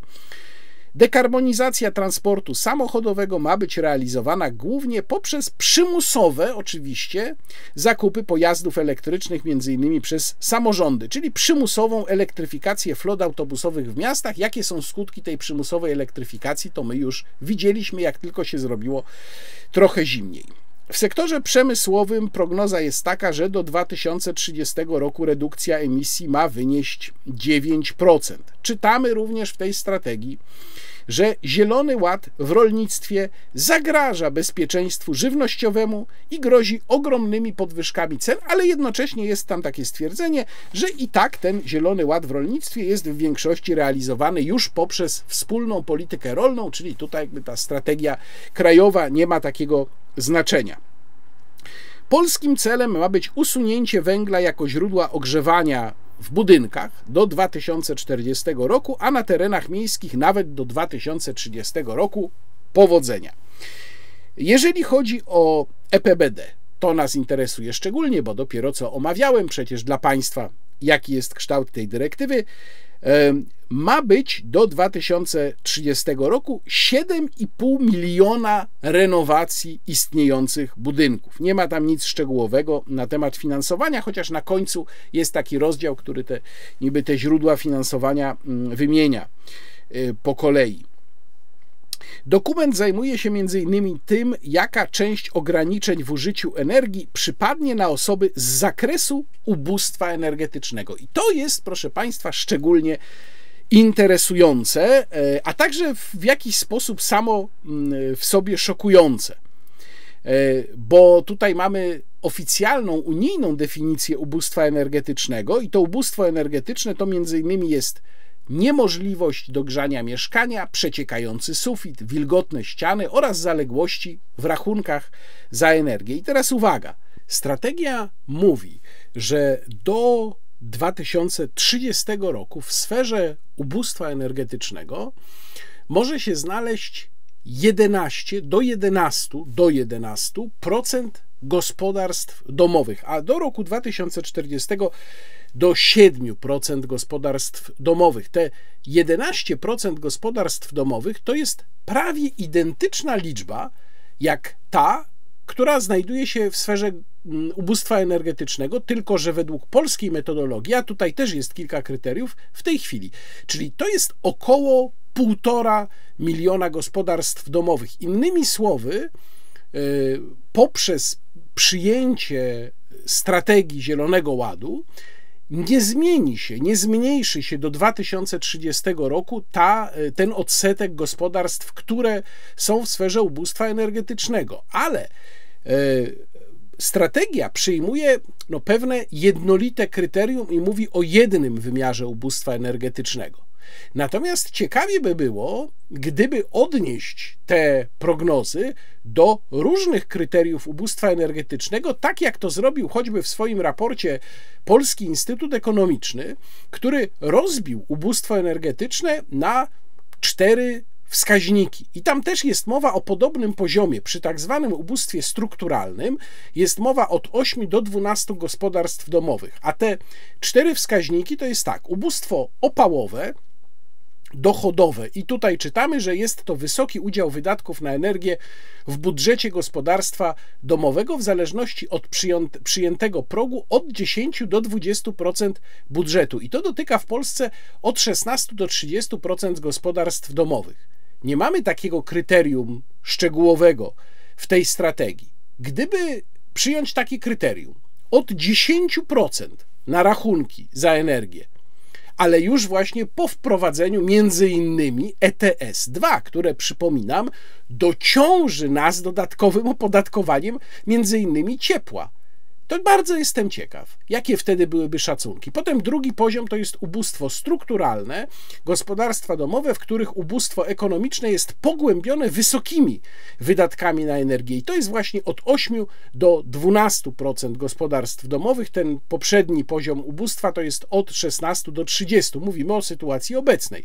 Potem mamy ubóstwo komunalne, 3 do 5% gospodarstw, które nie mogą zaspokoić swoich potrzeb energetycznych, ale z powodu braku dostępu dostępu do infrastruktury, czyli no to nie jest ta, ta sytuacja, o której mówimy w kontekście strategii energetycznej i wreszcie ukryte ubóstwo energetyczne dotyczy e, od 13 do 16 gospodarstw domowych, w których niskie wydatki na energię wynikają ze skrajnego ograniczania jej konsumpcji. Więc tak naprawdę, żeby dobrze ocenić, czy ta y, strategia unijna w jakikolwiek sposób rzeczywiście może zredukować, czy może raczej podwyższyć ubóstwo energetyczne, to musielibyśmy wziąć te cztery, a właściwie trzy, bo trzy nas tylko interesują z czterech, kryteria, które zastosował Polski Instytut Ekonomiczny i zrobić prognozę dotyczącą każdego z tych kryteriów przy odniesieniu do tego, co wyniknie z regulacji y, Zielonego Ładu. I myślę, że tutaj wyniki mogłyby być bardzo nieprzyjemne. Jeżeli przyjmiemy te, zwłaszcza te dwa kryteria, o których mówiłem, pierwsze i czwarte, czyli wydatki począwszy od 10% dochodu gospodarstwa domowego na energię i ostatnie kryterium, czyli możliwość spłacania e, rachunków energetycznych, ale spowodowana skrajnymi oszczędnościami, czyli na przykład tym, że e, odkręca się, nie wiem, grzanie na godzinę dziennie, albo że wybiera się, czy się włącza lodówkę, czy się włącza pralkę. I dopiero gdybyśmy to kryterium zastosowali do strategii energetycznej, która tak dosyć optymistycznie mówi, że to będzie 11%, a potem to w ogóle spadnie do 7%, dopiero wtedy moglibyśmy mieć jakiekolwiek pojęcie o tym, jak Zielony Ład wpłynie na poziom ubóstwa energetycznego w Polsce. Jak to wszystko trzeba podsumować? No można by powiedzieć, tak jak kiedyś powiedział Donald Tusk. Dzisiaj naprawdę poważna załoga. Zaczyna się zabierać za wasze portfele i za wasze złotówki. Ale ja bym to podsumował trochę inaczej. Ja bym to podsumował takim sondażem, który jest dosyć szokujący, ponieważ on po raz pierwszy pokazał znaczące tąpnięcie w stosunku do poprzedniego sondażu, jeżeli chodzi o poparcie dla członkostwa Polski w Unii Europejskiej. W sondażu zadano pytanie, czy Polska powinna pozostać w Unii Europejskiej, i mamy tutaj porównanie z danymi, z wielkościami z października ubiegłego roku, czyli stosunkowo niedługi okres. Natomiast zmiana jest szokująca, jak na to, jak przywykliśmy myśleć o stanowisku Polaków, jeżeli chodzi o pozostawanie w Unii Europejskiej. Otóż tak, czyli powinniśmy pozostać w Unii Europejskiej, odpowiedziało 62% respondentów i to jest zmiana, uwaga, w dół o 14 punktów procentowych.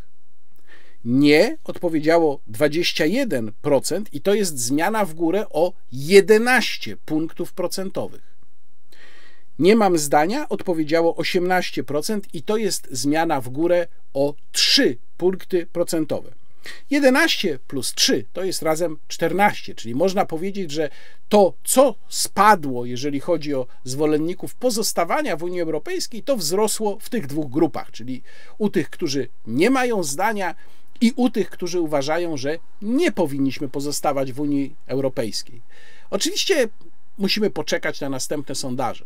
Natomiast ja dzisiaj postawiłbym ostrożnie tezę, że widzimy właśnie początek kuli śniegowej, widzimy początek procesu, który doprowadzi nas do dosyć radykalnej zmiany opinii Polaków, jeżeli chodzi o korzyści z pozostawania w Unii Europejskiej. I żeby było jasne, ja tutaj nie twierdzę, że my powinniśmy zaraz wychodzić z Unii Europejskiej. Mm, nawet nie oceniam, czy to dobrze, czy źle. Wskazuję tylko, że ten szaleńczy proces, głównie dotyczący polityki klimatycznej, jeżeli nie zostanie powstrzymany, to najprawdopodobniej zaowocuje znaczącą, bardzo wyraźną zmianą nastrojów, jeżeli chodzi o członkostwo Polski w Unii Europejskiej.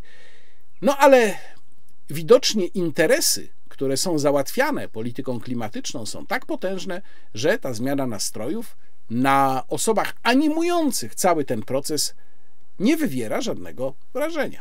I że po prostu nie pozwolimy, żeby planeta nam się spaliła. To jest zdrada.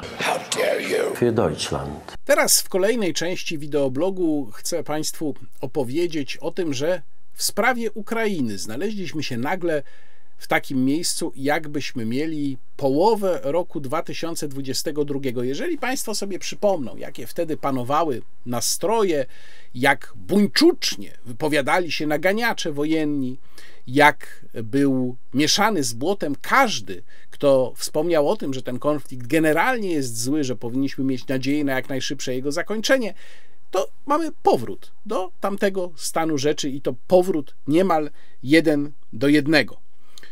Ale sytuacja y, z tamtego okresu przecież się zasadniczo zmieniła. My jesteśmy ponad dwa lata po rozpoczęciu wojny i w ciągu tych dwóch lat przepowiednie czy analizy mm, osób z kręgu bardziej sceptycznego, w tym moje, spełniły się w zasadzie wszystkie.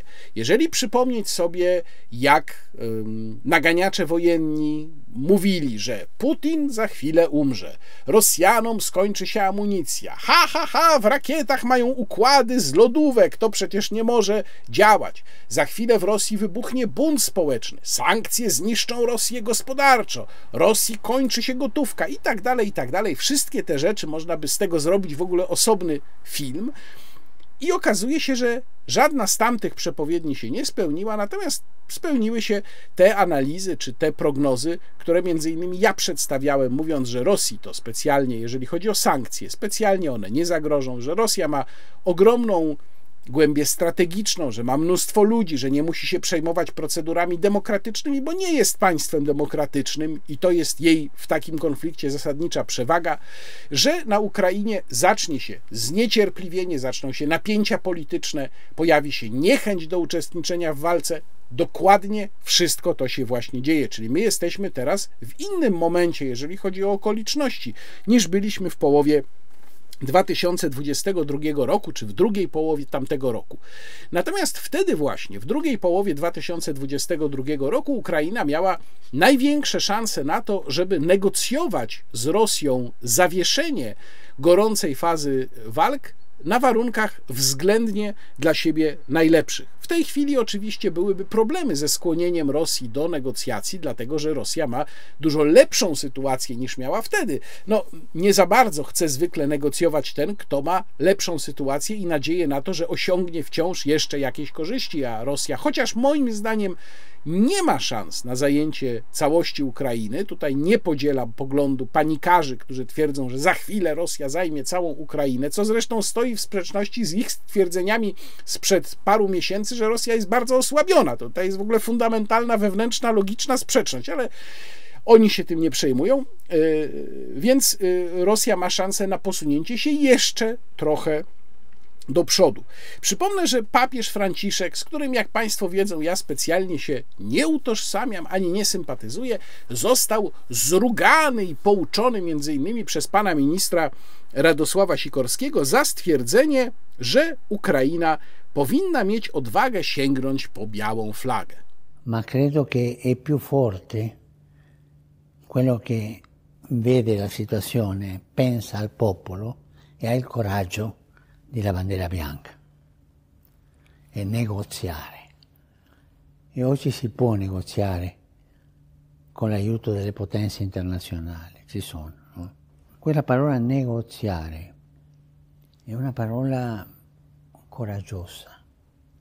Ja rozumiem, że w Polsce przede wszystkim zrozumiano to sformułowanie o białej fladze jako mm, namawianie Ukrainy na to, żeby się poddała. No ale przypomnę, że biała flaga, i ja rozumiem, że to tutaj y, papież y, miał na myśli, jest nie tylko pokazywana wtedy, kiedy się dana strona poddaje, ale również jest oznaką parlamentarzystów. To parlamentarzyści, kiedy idą negocjować z drugą stroną, również są pod białą flagą i to, jak rozumiem, tak wynika z kontekstu tej wypowiedzi, miał na myśli papież Franciszek. Papież Franciszek mówił też tutaj o odwadze negocjowania, i dla mnie jest dosyć oczywiste, że e, Ojciec Święty, wychodząc z mm, punktu widzenia, że każde życie ludzkie jest cenne, e, no myśli tutaj o ludziach, którzy giną w tym konflikcie, a przecież oni są po obu stronach.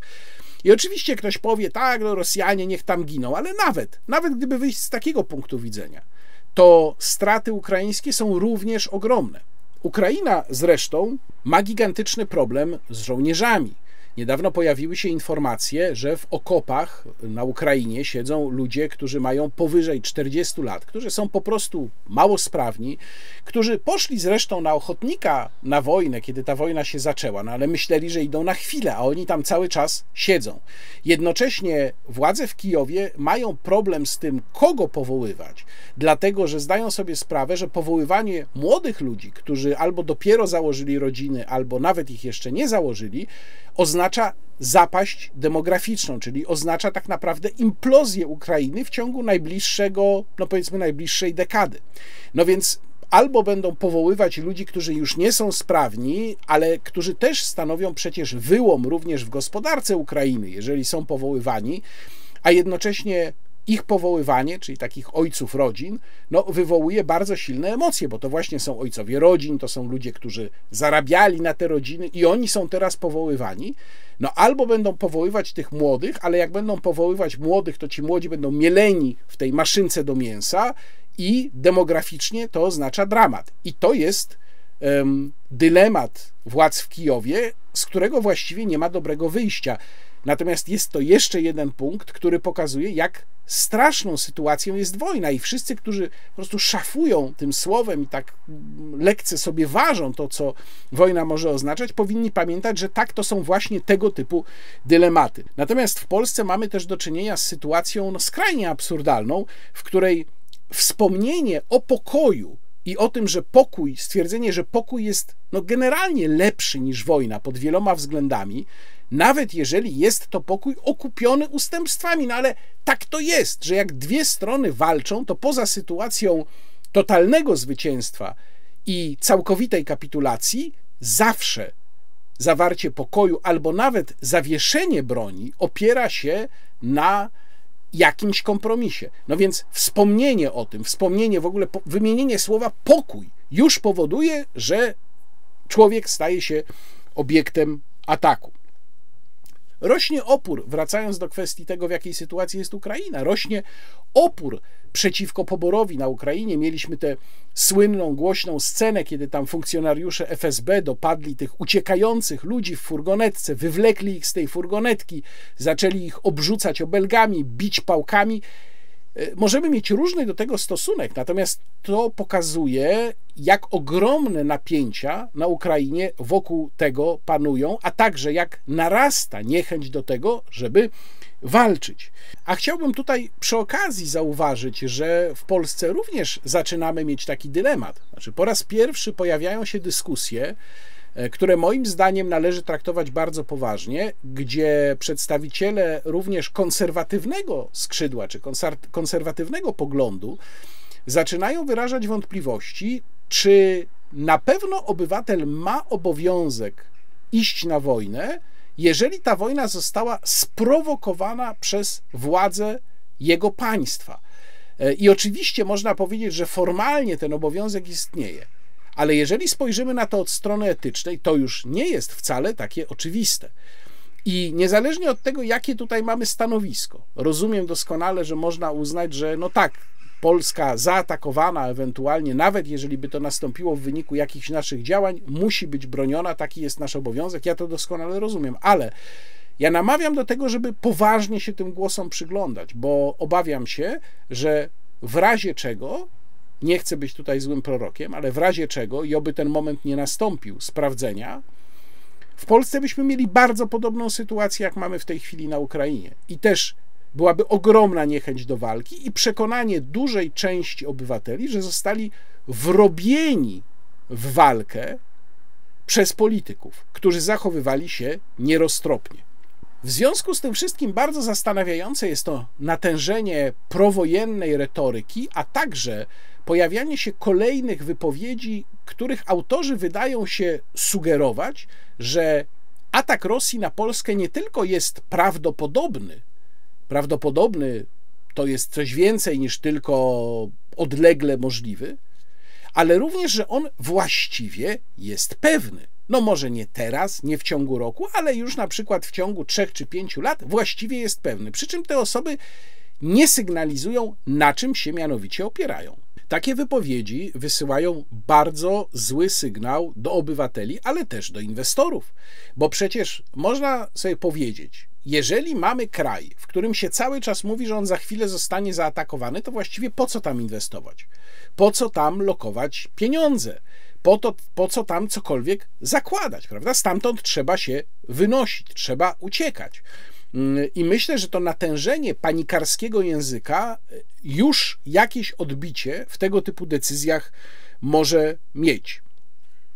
Poza tym dochodzą do tego oczywiście głosy coraz y, silniej słyszalne o wysłaniu żołnierzy NATO na Ukrainę, których celem moim zdaniem jest ewidentne oswojenie opinii publicznej z przekroczeniem kolejnej tak zwanej czerwonej linii. Tutaj pozwolę sobie przypomnieć, oczywiście pierwszy był pan prezydent Emmanuel Macron. Potem 8 marca Radosław Sikorski na konferencji w Sejmie powiedział, że obecność sił NATO na Ukrainie to nie jest rzecz nie do pomyślenia, ale też dodał, że w ogóle żołnierze NATO tam już są przecież. E, z kolei ciekawa sytuacja nastąpiła w Estonii, bo 29 lutego Politico, serwis Politico opublikował wywiad z panią premier Kają Kallas, która oznajmiła, że w sprawie Ukrainy to wszystko jest na stole, łącznie właśnie z wysłaniem żołnierzy na Ukrainę, w domyśle było żołnierzy estońskich, po czym po powrocie do e, Estonii no, zaczęła być przepytywana i przyciskana przez estońskich deputowanych, bo mimo, że Estonia jest jednym z tych jastrzębi, chociaż największym jastrzębiem wśród tych krajów jest Litwa, to jednak te y, deklaracje pani premier Kallas no, wywołały tam zaniepokojenie. No i 7 marca pani premier zapewniała estońskich parlamentarzystów, że estońscy żołnierze nie pojadą na Ukrainę, aby walczyć. Zwracam uwagę na ten przypadek dwugłosu, że za granicą pani premier Kallas mówi co innego serwisowi Politico, a co innego mówi potem estońskim parlamentarzystom, parlamentarzystom w Tallinie, bo u nas trochę wygląda, że jest podobnie. Wreszcie w ubiegłym tygodniu w Bukareszcie na Kongresie Europejskiej Partii Ludowej Donald Tusk oznajmił, że zakończyła się epoka powojenna, a żyjemy w epoce przedwojennej. The times of blissful calm are over. The post-war epoch is gone. We are living in new times. In a pre-war epoch. no to chyba trzeba pana premiera zapytać, to kiedy ta wojna? Skoro jest epoka przedwojenna, no to już właściwie jest stwierdzenie, że wojna będzie na pewno. Tak wynika z jego słów. Natomiast y, włoski minister obrony Guido Crosetto oznajmił, że Polska i Francja nie mogą wypowiadać się w imieniu całego NATO. I to jest bardzo ważny punkt, ta wypowiedź włoskiego ministra obrony, bo powinniśmy przez chwilę zastanowić się nad tym, co mają na myśli politycy, mówiąc, czy używając takiego wygodnego dla siebie sformułowania, wysłanie żołnierzy NATO na Ukrainę przeciętny słuchacz, jak to słyszy, to może mu się wydawać, że skoro tam pada sformułowanie żołnierze NATO, to mówimy tutaj o jakimś ruchu całego sojuszu. No to jest nieprawda. Cały sojusz jako NATO, jako Sojusz Północnoatlantycki, z całą pewnością na Ukrainę nie wejdzie. Dlaczego? Po pierwsze, dlatego, że musiałaby to być zbiorowa decyzja całego NATO, która nie zostanie podjęta, ponieważ są tam kraje, które się temu na 100% sprzeciwi, sprzeciwią. To jest na przykład Turcja, to są wspomniane przeze mnie Włochy, a myślę, że nie byłyby to jedyne kraje. No Węgry oczywiście też, to jest zupełnie jasne. Słowacja, czyli mamy już co najmniej cztery kraje będące członkami NATO, które by postawiły tutaj stanowcze weto. Czyli NATO jako całość nie mogłoby wejść w związku z tym na Ukrainę. Po drugie, jeżeli siły sojuszu albo jakiekolwiek zagraniczne siły gdzieś miałyby wejść, ale zwłaszcza pod flagą natowską, to jako siły pokojowe. Żeby gdzieś znalazły się siły pokojowe, to po pierwsze walki muszą ustać za zgodą obu stron, po drugie, te siły pokojowe muszą mieć mandat. Na ogół taki mandat wystawia Rada Bezpieczeństwa Narodów Zjednoczonych. To jest raczej niemożliwe, bo w Radzie Bezpieczeństwa, jak wiadomo, są i Chiny, i Rosja. Albo może też taki mandat, były takie sytuacje, wystawić Unia Europejska, ale tutaj nie mamy mowy o żadnym mandacie. No więc o co tutaj chodzi? Co mają na myśli politycy, kiedy mówią, to jest wyobrażalne, żeby na Ukrainie znaleźli się żołnierze NATO? Oni mają na myśli tylko to, że mogą to być żołnierze z państw należących do NATO, co jest czymś kompletnie innym niż żołnierze pod flagą NATO. To byłyby indywidualne decyzje, a skoro byłyby to indywidualne decyzje i skoro teoretycznie polscy żołnierze mieliby się tam znaleźć i teoretycznie mogliby się znaleźć w ogniu walki, to znaczy, że w razie działań odwetowych Rosji, która przecież te działania otwarcie w takiej sytuacji zapowiada, my nie bylibyśmy chronieni artykułem 5. Bo artykuł 5, który nie jest zresztą automatyczny przez część państw NATO, byłby interpretowany i słusznie zresztą jako obrona przed niesprowokowanym atakiem. No z całą pewnością sytuacja, w której polscy żołnierze podjęliby jakieś działania na Ukrainie, mogliby wejść w zwarcie z Rosjanami, a następnie Rosja postanowiłaby w odwecie w jakiś sposób zaatakować Polskę. Nie mówię, że byłby to jakiś atak lądowy, ale na przykład ostrzał rakietowy. Taka sytuacja wyklucza moim zdaniem uznanie przez wszystkie państwa NATO, że zachodzą przesłanki z artykułu 5. Mówiąc ludzkim językiem, Warszawa by wtedy usłyszała: No, sami wepchnęliście palce w drzwi, to się teraz brońcie. A tu przypomnę ważną sytuację z przeszłości, która też może nam dawać przesłankę do tego, jak mamy myśleć o deklaracjach polskiego rządu w tej sprawie. Myślę tutaj o misji 98 policjantów, którzy pojechali w październiku 2022 roku na Ukrainę podobno rozminowywać tereny opuszczone przez Rosjan. Między innymi mieli tam przetrwać, y, tak się mówiło po ich powrocie, 129 rosyjskich nalotów. Ja oczywiście pisałem o tym przedsięwzięciu w najbardziej możliwym krytycznym tonie, ponieważ wyobrażałem sobie, że mm, jaka byłaby sytuacja, gdyby chociażby jeden z tych policjantów, będących, będących przecież w służbie czynnej, został wzięty do niewoli przez Rosjan, czy nawet został zabity w takim konflikcie, nie będąc przecież dobrowolnym najemnikiem, bo to jest jednak trochę inna sytuacja, tylko będąc właśnie policjantem oficjalnie wysłanym tam przez polskie państwo, policjantem w służbie czynnej, i my o tym nic nie wiedzieliśmy. Ja od tego czasu odnoszę się do deklaracji polskiego rządu w tej sprawie z absolutnie najwyższą możliwą nieufnością, a też warto pamiętać, że wyjazd tego kontyngentu niespełna 100-osobowego polskich policjantów został poprzedzony prośbą wystosowaną przez Kijów do takiej organizacji Atlas, która skupia specjalne oddziały policyjne z całej Europy. I y, Ukraińcy tam zaapelowali, że no właśnie potrzebują ludzi do rozminowywania, czy ktoś by nie pomógł. I Polska była, proszę Państwa, jedynym krajem, który zdecydował się pomóc, bo wszystkie inne zrzeszone w tej organizacji stwierdziły, że ryzyko jest za duże. No ale Polacy, wiadomo, koń, szabelka i butelka. Dla nas nie ma czegoś takiego jak za duże ryzyko. Jeżeli uznajemy, a ja tak uznaję, że korzystne jest zachowanie Ukrainy suwerennej, jako bufora pomiędzy nami a Rosjanami, ale zachowanie Ukrainy suwerennej to znaczy możliwie koherentnej, spójnej. To nie znaczy koniecznie starającej się odbić wszystkie tereny, które faktycznie utraciła na rzecz Rosjan. Ja zresztą w jednym z tekstów do rzeczy niedawno wyjaśniałem, że w praktyce dyplomatycznej bardzo często jest tak, że stan faktyczny jest inny niż stan formalny. Nikt nie oczekuje, że Ukraina formalnie pogodzi się z utratą nawet Krymu, już nie mówiąc o swoich terenów, terenach w Doniecku. Natomiast faktycznie zawarcie jakiegoś porozumienia z Rosją, oczywiście będzie wymagało, żeby zrezygnować, y, faktycznie zrezygnować z kontroli nad tymi mm, obszarami. Otóż, jeżeli się y, trzymamy tej zasady, to powinno nam zależeć na tym, żeby Ukraina toczyła tę walkę, ale swoimi rękami. Czyli my możemy w miarę naszych możliwości Ukrainie pomagać. Tu podkreślam, że nigdy nie byłem przeciwnikiem pomocy dla Ukrainy w ogóle i nigdy się nie domagałem, żeby ją kompletnie skasować, co mi niektórzy zarzucają, a ja zawsze wtedy mówię, że nigdy czegoś takiego nie powiedziałem. Natomiast istotą rzeczy jest to, i było do tej pory przecież, że Ukraińcy robią to własnymi rękami. Więc teraz próba jakiegoś oswojenia nas z przekroczeniem tej czerwonej linii, którą byłoby wysłanie żołnierzy krajów należących do NATO, powiedzmy to tak, jak to powinno być powiedziane, krajów należących do NATO, nie żołnierzy NATO, na Ukrainę byłoby zasadniczym odejściem od tej strategii.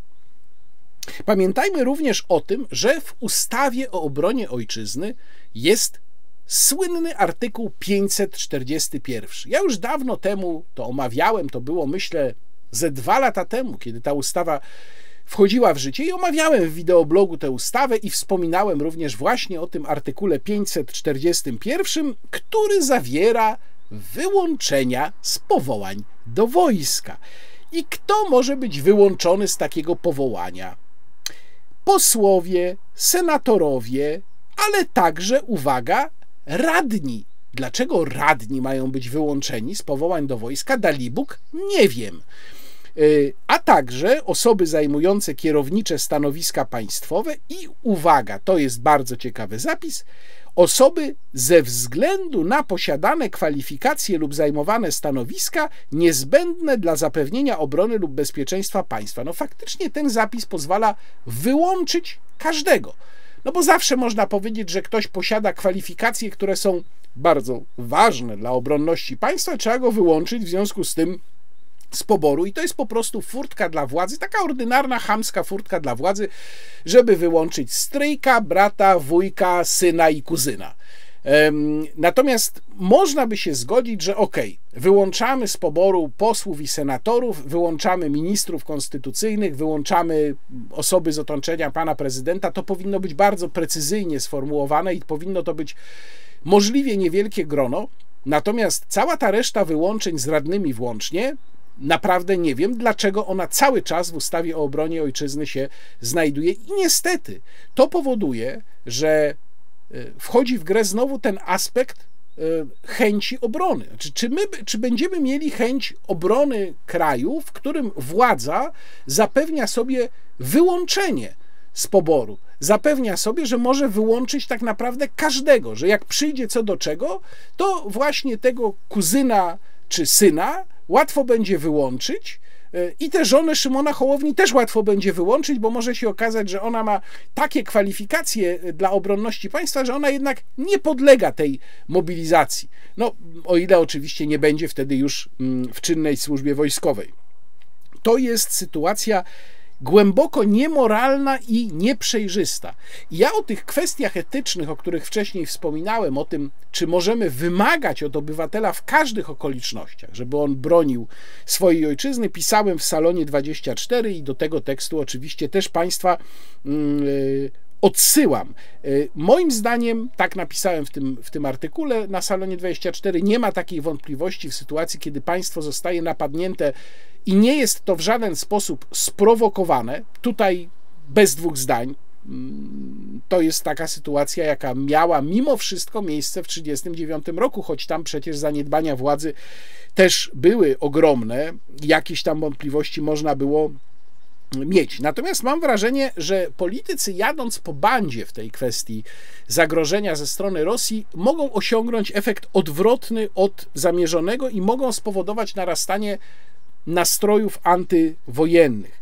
Bo zastanówmy się, jaka motywacja e, byłaby wyborców poszczególnych ugrupowań, żeby w razie czego wziąć udział w obronie Polski. No, jeżeli spojrzymy na wyborców obecnej koalicji, to mimo tego deklaratywnego antyputinizmu i deklaratywnej wojowniczości, oni prawdopodobnie by specjalnie chętni do wzięcia udziału w walce nie byli, bo to jest po prostu taki segment wyborców, dla których no, bardziej autorytetem jest powiedzmy pani e, Peszkówna, która jak wiadomo oznajmiła, że jakby coś się w Polsce działo, to ona. Z drugiej zaś strony wyborcy przeciwni koalicji rządzącej mają w dużej mierze poczucie, że obecna władza ich odrzuca, a poza tym są też w części krytyczni wobec polskiej polityki wobec Ukrainy, czyli mogą mieć takie odczucie, że jeżeli by coś się zaczęło, to jest to sytuacja sprowokowana przez władzę, w której to władza chce ich użyć jako mięsa armatniego. I też ta motywacja dla mm, wzięcia udziału w walce byłaby nikła, a skutkiem ostatecznie mogłoby być potężne zamieszanie, chaos i dezercję. Władza bawi się zatem z nami w bardzo niebezpieczną grę. I że po prostu nie pozwolimy, żeby planeta nam się spaliła. To jest zdrada. Für Deutschland. I tutaj przechodzę do tematu ściśle z tym powiązanego, a myślę, że warto o tym parę słów powiedzieć, chociaż no, sprawa nie jest taka świeża, bo artykuł jest z 25 lutego. Natomiast on trochę się odbił echem, ale tak raczej marginalnie, dlatego chciałbym parę słów na ten temat Państwu powiedzieć, choć już omawialiśmy go częściowo z e, Kubą Dymkiem w naszym cyklu Warzecha i Dymek, który w tym tygodniu się trochę przesuwa, nie będzie nas w najbliższy wtorek, będziemy w jeszcze e, kolejny.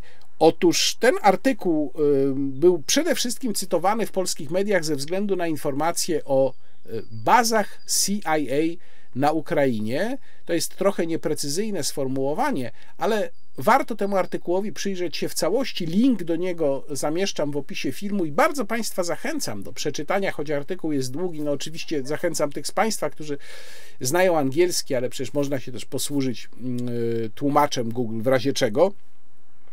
Y, I tutaj ciekawa rzecz. Artykuł jest prezentowany jako plon dziennikarstwa śledczego. Jest tam mowa, że ponad 200 wywiadów autorzy przeprowadzili, żeby ten tekst skonstruować. Napisali go panowie Adam Entos i Michael Schwirtz, którzy obaj są prezentowani jako dziennikarze śledczy. Ale uwaga, jeżeli ktoś jest e, uwrażliwiony na to, jak tekst jest skonstruowany, jeżeli ktoś umie takie rzeczy wychwycić, to natychmiast zobaczy, że ten artykuł nie jest plonem dziennikarstwa śledczego. To nie jest dziennikarstwo śledcze.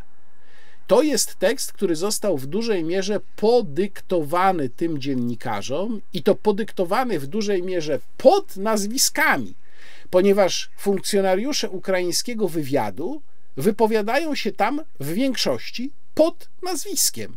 Natomiast Amerykanie rzeczywiście wypowiadają się anonimowo. Rozumiem, że jeszcze do tego było dużo wypowiedzi, które miały znaczenie backgroundowe, dostarczyły tła czy, czy informacji, natomiast nie są bezpośrednio y, cytowane. Ale już samo to, że ci ludzie wypowiadają się pod nazwiskiem, zwłaszcza Ukraińcy, powinno nam dać do myślenia, no bo przecież gdyby to był tekst śledczy, no to nie byłoby o czymś takim mowy.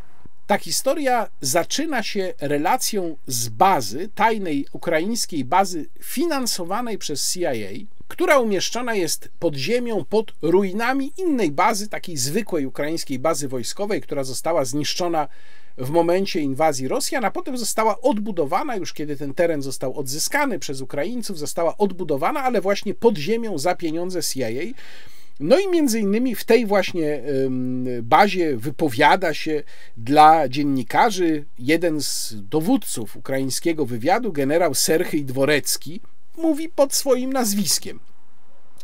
W tekście jest mowa, i, i, to już daje nam właśnie ten sygnał, że mamy tutaj do czynienia no, z czymś w rodzaju takiego oprowadzanego zwiedzania, no bo jeżeli ci dziennikarze są do tej bazy wprowadzani, im się ją pokazuje, mówi się im, proszę bardzo, to jest sprzęt za pieniądze CIA i sam generał Dworecki z nimi rozmawia zupełnie otwarcie, i jeszcze pod nazwiskiem, no to jasne jest, że nie mamy tutaj do czynienia z dziennikarstwem śledczym, tylko mamy tu do czynienia z narracją, która jest celowo dziennikarzom podawana, a za pośrednictwem dziennikarzy New York Timesa, bo to też jest ważne, że ten tekst ukazał się w New York Timesie, czyli w gazecie bardzo bliskiej obozowi demokratów, podawana jest również czytelnikom. W tekście jest mowa o 12 tajnych bazach wspieranych przez CIA, zbudowanych w ciągu ostatnich 8 lat na Ukrainie wzdłuż granicy z Rosją. Jest też mowa o tym, że informacja o istnieniu takiej sieci baz dotarła na Kreml i że ona była jednym z głównych powodów, dla których pan prezydent Władimir Putin zdecydował się rozpocząć inwazję na Ukrainę. Przy czym autorzy artykułu zaznaczają, że pan Putin miał błędne informacje, czy też błędne rozpoznanie sytuacji, ponieważ, jak twierdzą, to nie Amerykanie byli stroną ofensywną w przypadku konstruowania całej tej sieci, a także w ogóle całej tej współpracy ukraińsko-amerykańskiej wywiadowczej. Oni raczej byli stroną broniącą się nawet momentami przez, przed głębszym zaangażowaniem, natomiast to Ukraińcy byli stroną ofensywną i to Ukraińcy wciągali Amerykanów w tę współpracę. I cały tekst opowiada nam właśnie taką historię, opowiada nam o tym, jak Ukraińcy mm, zachęcali czy też zanęcali Amerykanów, przedstawiając im bardzo atrakcyjne dokumenty dotyczące Rosji, których Amerykanie nie mieli szansy zdobyć znikąd indziej, a Ukraińcy im te dokumenty dostarczali. I co ciekawe, te dokumenty i walor, waga tej współpracy, czy korzyści z tej współpracy dla Amerykanów powodowały, że Amerykanie tę współpracę kontynuowali nawet wtedy, kiedy Ukraińcy łamali ustalone zasady współpracy. Dlatego, że jak wynika z tego tekstu, Amerykanie postawili, no już, już angażując się w tę współpracę dosyć mocno, postawili bardzo wyraźny warunek i właśnie taką czerwoną linię, jak to się mówi, zakreślili, żeby jednostki, które będą szkolone przez CIA i które będą finansowane, i żeby w ogóle wywiad ukraiński, y, który działa we współpracy z Amerykanami, nie przeprowadzał na terenie Rosji lub na terenie kontrolowanym przez Rosję akcji ofensywnych, które miałyby skutki śmiertelne. I tej czerwonej linii Ukraińcy nie przestrzegali. Tutaj są przykłady. Jednostka 2245, którą wyszkoliło CIA, w 2016 roku udała się na Krym z tajną misją, mm, która miała polegać na podłożeniu ładunków wybuchowych pod lądowisko helikopterów zlokalizowane na półwyspie. No tylko, że tam na miejscu, jak piszą autorzy tekstu, czekała na nich doborowa jednostka rosyjskich komandosów. Zakończyło się to wszystko klęską, śmiercią iluś tych żołnierzy ukraińskich, no i oczywiście wkurzeniem mm, Amerykanów E, którzy nawet chcieli zerwać tę współpracę, ale znów się okazało, że jednak te materiały dostarczane przez Ukraińców są tak cenne, że Amerykanie tej współpracy nie zrywają. I to nie była jedyna taka historia. Było też na przykład zamordowanie niejakiego Michaiła mm, Tołstycha, znanego jako Giwi, jednego z liderów separatystów w Doniecku, też przez wywiad ukraiński. Też wywołało to wściekłość Amerykanów, ale mimo to współpraca trwała i ona trwała również, co ciekawe, za prezydentury Donalda Trumpa. Wydaje się, że tutaj y, zadziałało tak zwane głębokie państwo, czyli deep state, które uznało, że niezależnie od tego, jakie tam są wytyczne pana prezydenta Trumpa, to ta współpraca jest ważniejsza i trzeba ją kontynuować. Podsumowując to wszystko i nie wdając się już w dokładne szczegóły, tekst wydaje się napisany na zamówienie. I teraz pytanie, które tutaj warto sobie postawić, to jest, kto go zamówił i jaki miał cel. Dlaczego ten tekst ukazuje się akurat w momencie, kiedy wokół Ukrainy, wokół pomocy dla Ukrainy, wokół kwestii wejścia zachodnich wojsk na Ukrainę, e, e, powstało takie zamieszanie i tyle szumu? E, ja mam wrażenie, że być może, to jest moja teza, hipoteza, tekst jest pisany na wspólne zamówienie służb amerykańskich i ukraińskich, no ale pewnie on też by nie powstał bez akceptacji, myślę, kogoś w Białym Domu, bo to jednak jest za poważna historia, żeby coś takiego mogło się ukazać w New York Timesie akurat w tej konkretnej gazecie, bez akceptacji samej góry, a w każdym razie gdzieś tam z otoczenia bliskiego pana prezydenta Joe'ego Bidena, po to, żeby podkreślić, że po pierwsze, to nie Amerykanie inicjowali najbardziej ofensywne akcje, jeżeli chodzi o wywiad ukraiński. Taki sygnał, ja to tak odbieram, wysłany do Rosjan, że to nie my za tym staliśmy, jakby co. Po drugie, żeby pokazać, że ta współpraca już jest, że ona trwa od dawna. I w związku z tym, jakby to ta czerwona linia nie jest już tak wyraźnie wyrysowana. Myślę też, że mogło zależeć Ukraińcom na tym, żeby pokazać, że to oni właśnie wciągali Amerykanów do tej współpracy, ale też, że to jest bardzo, to są bardzo mocne związki i że mm, zerwanie tych związków byłoby kosztowne dla Stanów Zjednoczonych. Każda strona tutaj miała być może coś na tym tekście do ugrania. Warto go przeczytać, natomiast warto go przeczytać mając nieustannie gdzieś tam w tyle głowy, że to nie jest tekst śledczy, nie jest, nie jest to autentyczna robota dziennikarska, tylko jest to tekst pisany na zamówienie, który ma nas do pewnych rzeczy przekonać. I że po prostu nie pozwolimy, żeby planeta nam się spaliła. To jest zdrada. Für Deutschland. Przyszła pora, żeby zająć się naszą ulubioną partią opozycyjną. Partią pana prezesa Kaczyńskiego, który wykonał pewien zwrot, bo najpierw oznajmił przecież, że a w 2025 roku, no to on już nie będzie kandydował, niech tam się inni wezmą za kierowanie pisem, a po mniej więcej trzech tygodniach stwierdził, a jednak się namyśliłem, to ja może będę kandydował, a nawet na pewno. No jak będzie kandydował, to go oczywiście wybiorą. Ja bym chciał Państwu pokazać tutaj wystąpienie, ponieważ PiS rozpoczął taką serię spotkań, które nazywa trochę na wyrost konwencjami samorządowymi, bo tak naprawdę z prawdziwą konwencją nie ma to wiele wspólnego, no ale są takie spotkania z ludźmi i tam występuje pan prezes Kaczyński, znowu jako twarz Prawa i Sprawiedliwości. No i takie wystąpienia, które są dosyć do siebie podobne. Ja wziąłem wystąpienie z 2 marca. Chciałbym Państwu pokazać skrót, właściwie skrócik, bo samo wystąpienie i tak nie było długie, miało tam chyba trochę ponad 20 minut. Tutaj jest tylko kilka minut. Proszę zobaczyć, proszę posłuchać. A Polska, szanowni państwo, potrzebuje być na tak. My wszyscy powinniśmy być na tak. My, my musimy być na tak dla inwestycji,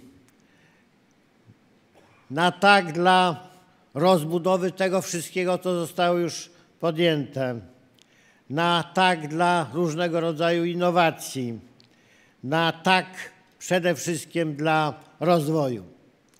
A o tym niewiele słychać, a w gruncie rzeczy nic nie słychać.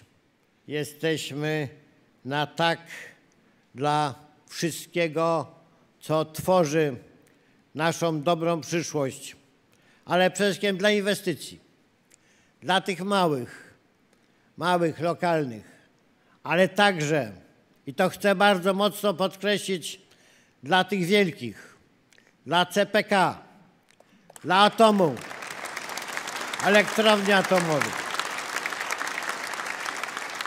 dla wielkiej chemii, dla regulacji Odry, dla portów, a szczególnie tego kontenerowego w Świnoujściu, ale dla portów w ogóle, dla wielkich inwestycji zagranicznych w ten najnowocześniejszy przemysł. Jesteśmy na tak i wzywamy wszystkich, do, by byli na tak. To nasze tak, nasze tak dla pójścia do przodu, nasze tak dla doścignięcia tych, którzy są jeszcze ciągle przed nami, ale już dużo bliżej. Jesteśmy ich dużo bliżej. Tych, którzy mieszkają w państwach na zachodzie, a po części także na południu od naszych granic. To nasze tak musi być mocne. Te małe ojczyzny to jest miejsce, gdzie może łatwiej dojść do porozumienia, może łatwiej współpracować, może łatwiej mieć jakiś wspólny cel. Inwestycje, choćby te inwestycje z Polskiego Ładu, to były inwestycje dla wszystkich.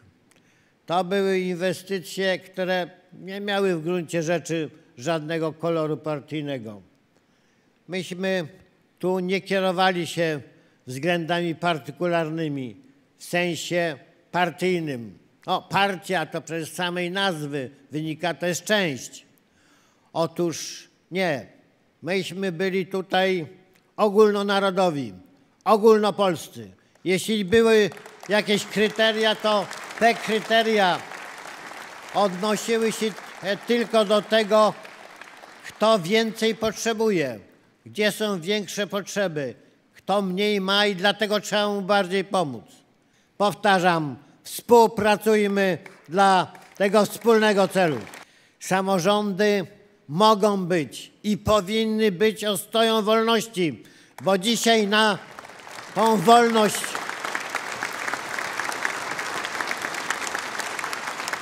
podnosi się rękę, a władza samorządowa bardzo wiele może.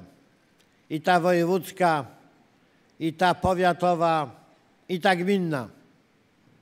Może w wielu wypadkach przynajmniej wysokim stopniu łagodzić te wszystkie przedsięwzięcia, które dzisiaj są podejmowane, a których ostatecznym celem jest to, by Polacy nie byli w stanie ani słyszeć prawdy, ani też tą prawdę, swoją prawdę wyrażać.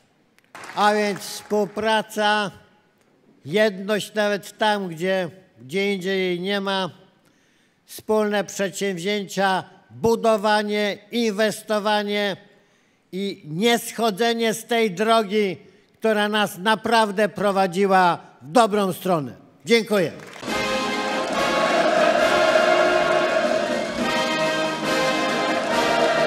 Nie ma tutaj w zasadzie za bardzo co komentować. Te wystąpienia w większości są koszmarnie beztreściowe. Tutaj tylko można powiedzieć, że ciekawy jest ten akcent, w którym pan prezes nagle e, wypowiada się na temat tego, jak ważne są samorządy, jaką mają kluczową rolę do spełnienia. E, PiS, partia skrajnie centralistyczna, która w czasie dwóch kadencji swoich rządów robiła wszystko, żeby tę autonomię samorządów ograniczyć, nagle odkryła, jak ważna jest samorządność. To może dlatego, że już właśnie nie rządzi.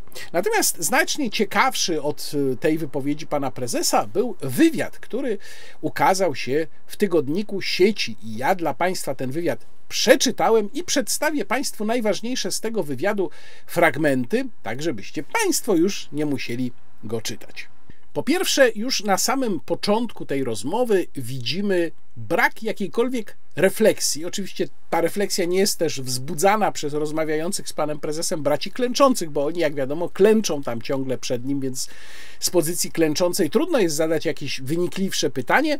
Natomiast brakuje tutaj jakiejkolwiek refleksji na temat strategii PiS przed wyborami. Pan prezes mówi, było to jednak zwycięstwo, to znaczy to zwycięstwo PiS, y, samotne, zbyt małe, by utrzymać władzę. No panie prezesie, ono było rzeczywiście samotne, ale było samotne przede wszystkim dlatego, żeście przez konsekwentnie 8 lat, a w przypadku Konfederacji przez 4 lata, niszczyli swoich potencjalnych koalicjantów. No przecież gdyby nie stosunek Prawa i Sprawiedliwości do PSL-u również, to prawdopodobnie byłaby szansa na to, żeby PSL wszedł do koalicji z PiSem. No ale po dwóch kadencjach traktowania PSL-u z buta, a także po kadencji traktowania z buta Konfederacji, która przecież była dojeżdżana do samego końca, bo pamiętamy tak zwane taś, taśmy Banasia tuż przed samymi praktycznie wyborami, no naprawdę trudno byłoby wchodzić jakiemukolwiek ugrupowaniu w koalicję z wami, ale tutaj widać brak refleksji mm, na ten temat. Mamy tutaj bardzo ważny fragment, w którym pan prezes mówi tak. Na temat kongresu PiS, który zgodnie ze statutem odbędzie się w przyszłym roku, tu przypomnę, że statut PiS mówi, że taki kongres, który wybiera władzę partii, musi się odbywać przynajmniej raz na cztery lata. I pan prezes mówi tak: Dziś jasno mówię, zgłoszę swoją kandydaturę na prezesa Prawa i Sprawiedliwości i poproszę o wybór na kolejną kadencję. Oczywiście to delegaci zdecydują. Ja uczynię wszystko, by ich przekonać do takiego wyboru. Stawiam sprawę jasno, bo mogą się zacząć jakieś procesy, które nie służą partii. Jestem też przekonany, że jeszcze przez jakiś czas mogę skutecznie działać. Mam siły, mam plan polityczny. Nie chcę też, by ktoś mi zarzucał, że jestem dezerterem, że zostawiam partię i całe nasze środowisko w tak trudnym momencie, w starciu z tak brutalnym, nie liczącym się z niczym przeciwnikiem. Zostaję, walczymy dalej. No moje gratulacje. Rzeczywiście PiS z Jarosławem Kaczyńskim, 74-letnim dzisiaj na czele, z pewnością ma siły i świetny pomysł polityczny. Tutaj idzie dobrze. Natomiast jeżeli mówimy o tych procesach, czy właściwie pan prezes mówi o tych procesach, to proszę jeszcze poczekać do kolejnej części wideoblogu, w której będę omawiał fascynujący skądinąd raport Kurskiego, bo myślę, że ten raport Kurskiego miał duży wpływ na użycie przez pana prezesa właśnie takiego tutaj mm, y, argumentu. Kolejna rzecz, kolejny wątek w tym wywiadzie to pytania dotyczące tego, czy PiS może wejść w jakiś rodzaj sojuszu czy układu z jakimiś innymi ugrupowaniami. No i tutaj mamy całego Jarosława Kaczyńskiego. Proszę posłuchać, co on mówi. Słyszę też o jakichś planach tworzenia inicjatyw, które w mojej ocenie, opartej na długotrwałym doświadczeniu, mogą się jedynie przyczynić do marnowania głosów, które padną na prawicę albo poprzez nieprzekroczenie 5% i wtedy głosy są całkiem zmarnowane, albo wyniki niewiele powyżej 5%, ale może to być nawet 10%, gdzie wydajność z 1% głosujących jest 4,5 raza mniejsza niż przy wynikach kilkudziesięcioprocentowych. Czyli mamy także efekt marnowania. Czyli krótko mówiąc, Jarosław Kaczyński mówi tak: nie głosuj ta tam na jakieś inne ugrupowania, bo tu my, PiS, tylko jesteśmy prawicą, prawda? I my tu będziemy rządzić po tej prawej stronie niepodzielnie. Oczywiście PiS nie jest żadną prawicą, tylko jest po prostu klasyczną socjaldemokratyczną partią, która udaje prawicę, ale też ta, ta próba zdominowania tej, powiedzmy, umownej prawej strony sceny politycznej przez takiego naprawdę brutalnego hegemona, który zniechęca do współpracy, niszczy każdego, kto próbuje wejść w jakiś inny y, segment y, polityczny, no, y, jest uderzająca. Ale jednocześnie, mówi tu Jarosław Kaczyński, jeśli chodzi o nas samych, możliwe jest, jak już wspomniałem, że w kolejnych wyborach parlamentarnych będziemy częścią szerszego obozu, który na pewno szukałby innej, można powiedzieć, szerszej nazwy, czyli ja czytam to między wierszami w taki sposób, że Jarosław Kaczyński sugeruje, że PiS może udawać, że przestanie być PiSem. I te inne inicjatywy, no to nie ma mowy, to głosuj ta na PiS, albo głosuj ta na to, co się już nie będzie nazywało PiSem, ale będzie PiSem oczywiście przez cały czas. Pada pytanie o Konfederację. No i y, czy Konfederacja mogłaby być ewentualnie takim partnerem?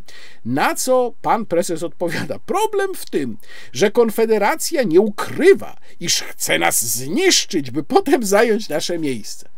No, muszę powiedzieć, że na e, bezczelnomierzu ta wypowiedź wylądowała u mnie daleko, no bo e, to jednak PiS próbował na wszelkie możliwe sposoby niszczyć Konfederację. To PiS wyciął Konfederację kompletnie z mediów państwowych za swoich rządów. To PiS próbował uderzyć w Konfederację tuż przed wyborami mm, i twierdzenie partii, która ma miliony grube subwencji, która ma swój y, terenowy aparat, która rządziła przez dwie kadencje, że Konfederacja próbuje zniszczyć PiS, jest zwyczajnie kompletnie niedorzeczne. Teraz się, proszę Państwa, Państwo ubawią, bo mówi Jarosław Kaczyński tak. Na pewno chwieje się Zielony Ład.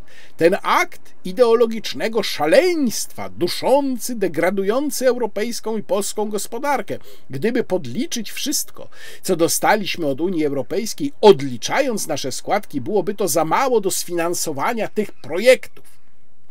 A co pan prezes Kaczyński mówił, proszę państwa, w roku 2021? Czy Polska w ramach e, transformacji energetycznej będzie sojusznikiem Europejskiego Zielonego Ładu, czy jego niewolnikiem? I od czego to zależy? Jeżeli chodzi o naszą pozycję w Unii Europejskiej w ogóle, to bardzo dużo zależy od nas, od podstawy naszych elit, elit politycznych, od tego, kto jest u władzy. No jeżeli ktoś ma ten gen niewolnictwa w sobie, a niestety w polskiej polityce tacy są, no to zawsze będzie niewolnikiem, no może nie tyle Zielonego Ładu, co w szczególności jednego państwa. Mm, po prostu najpierw była opcja w jedną stronę, teraz w drugą. My zawsze taką postawę krytykowaliśmy, odrzucaliśmy ją radykalnie. My niczyim niewolnikiem nie będziemy, natomiast musimy przyjmować pewne realia i dzisiaj ta tendencja do tego, co można określić jako budowa nowego ładu, jest tak przemożna, że odrzucanie jej oznaczałoby ustawienie się na marginesie no i różnego rodzaju inne kłopoty. To jest oczywiście bardzo trudne przedsięwzięcie i zawierające w sobie pewne elementy ryzyka, ale też ta druga strona, y, czyli obecność w całym tym mm, projekcie, jak to się mówi, odbudowy Europy. No Europa się tak zupełnie nie zawaliła, więc ja zawsze z tą odbudową jestem ostrożny, ale w każdym razie pchnięcia Europy do przodu, a w szczególności właśnie takich państw jak Polska, E, i że ten plan jest po prostu czymś, w czym warto uczestniczyć nawet za pewną cenę. Dalej mamy pytanie następujące. Czy KPO było błędem? Może i lepiej, żeby tego nie było, mówi Jarosław Kaczyński.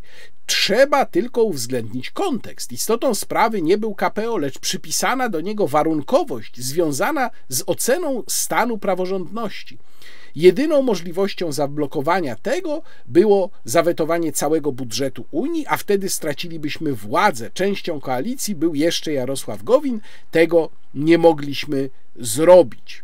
Przy czym przypominam, że w sprawie KPO, podobnie jak w sprawie Zielonego Ładu, zawinił Mateusz Morawiecki a Mateusza Morawieckiego na stanowisku utrzymywał Jarosław Kaczyński. Zapraszam jeszcze raz na część, w której będę mówił o raporcie Kurskiego, bo tam też jest to w bardzo interesujący sposób podane. Dalej Jarosław Kaczyński oznajmia, chcemy zdynamizować działania obecnej delegacji, chodzi o delegację PiS w Parlamencie Europejskim, chcemy, by nasza przyszła reprezentacja w Europarlamencie była jak największa i jak najbardziej skuteczna. No i w ramach tej dynamizacji stanowisko przewodniczącego delegacji PiS zamiast pana profesora Ryszarda Legutki otrzymał Hamuś Dominik Tarczyński, a w ramach tej kompetentnej delegacji, która ma w, przyszłych, w przyszłej kadencji Parlamentu Europejskiego reprezentować PiS, ma kandydować innymi pan Mariusz Kamiński. To jest rzeczywiście miara wybitnej kompetencji w sprawach unijnych, e, również w sprawach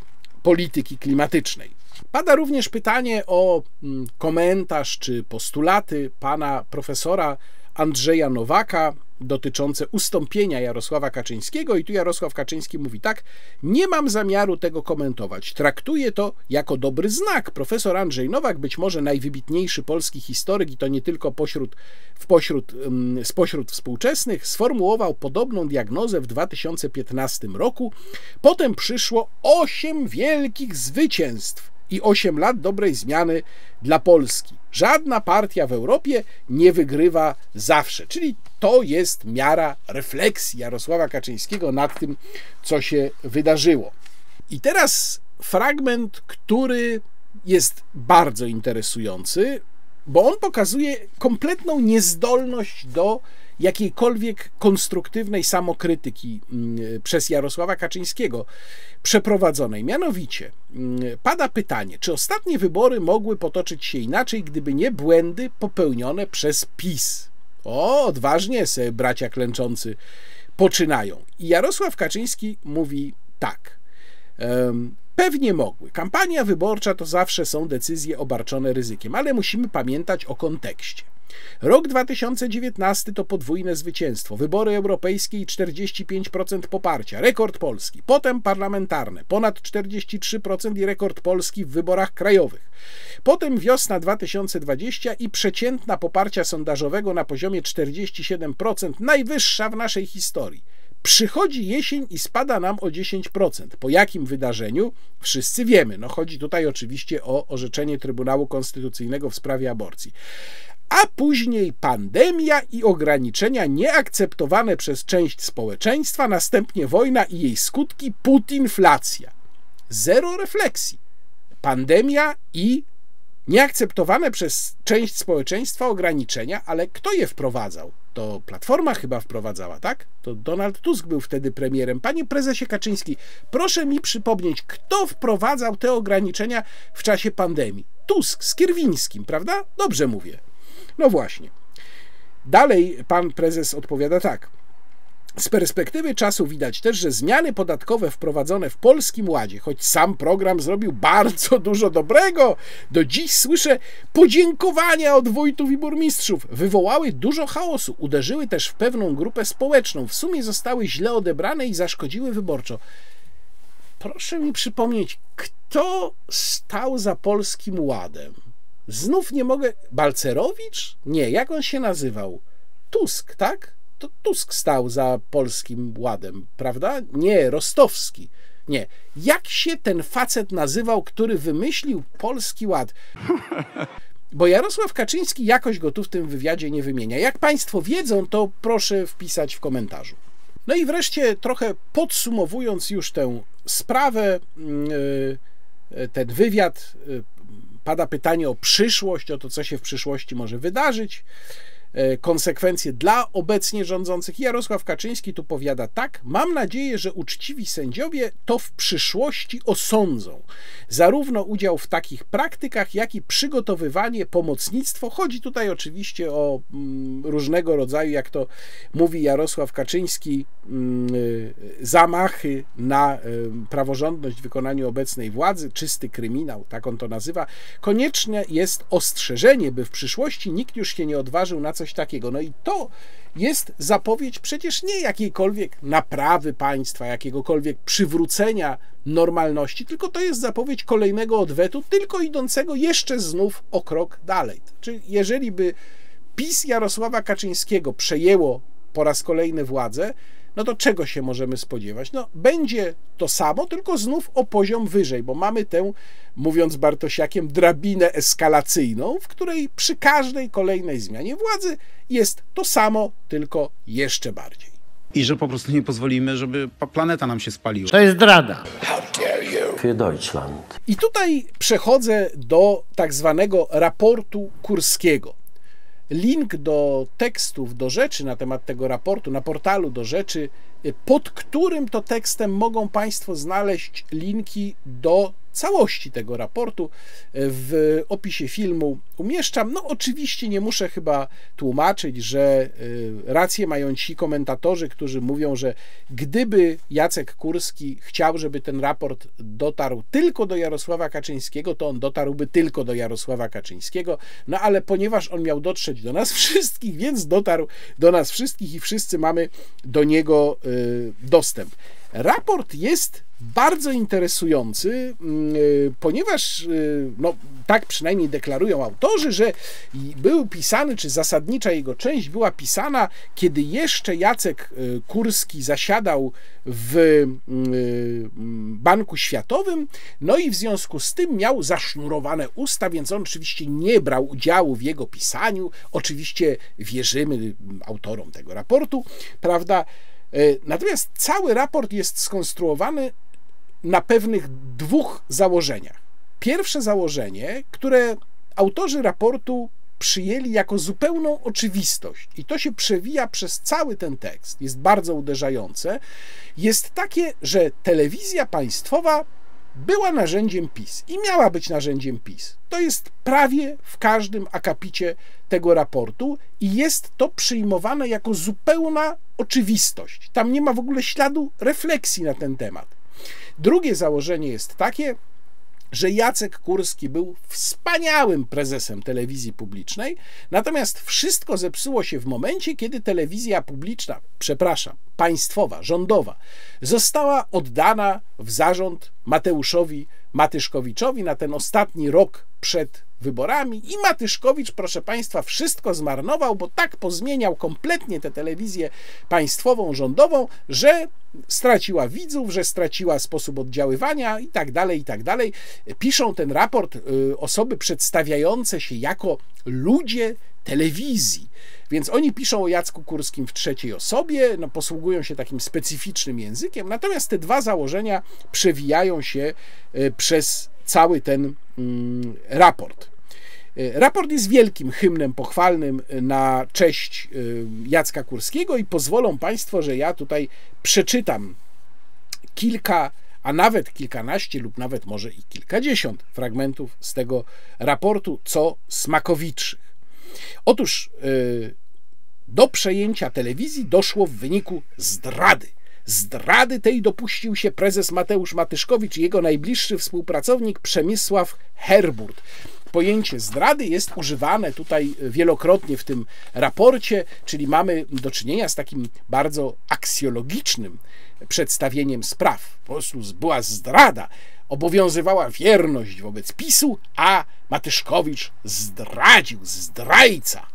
Zdrajco, zdrajco, po trzykroć zdrajco. Jak piszą autorzy raportu, wśród których, proszę pamiętać, nie ma Jacka Kurskiego absolutnie, na temat tego, jak wyglądała telewizja w czasie rządów Jacka Kurskiego. Piszą mianowicie o tym, że trzeba rozdzielić te dwa okresy absolutnie, czyli okres kurszczyzny i okres matyszkowszczyzny, bo to są zupełnie różne okresy. Piszą tak, dlatego te okresy należy wyraźnie rozdzielić. Był zatem okres odbudowy siły i prestiżu TVP lat 2016-22, przywracający Polakom pluralizm opinii, wolność i możliwość wyboru, z której korzystali we wszystkich aktach demokratycznych po 2016 roku okres angażującej emocjonalnie oferty seriali, sportu, rozrywki, przy której przekaz informacyjny i publicystyczny skutecznie docierał do milionów, dając pełną ofertę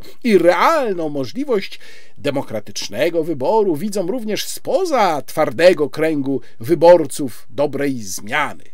TVP Kurskiego i Olechowskiego, robiąc newsy z polotem i rozmachem, skutecznie docierała do Polaków z prawdą o Polsce i przeciwnikach dobrej zmiany.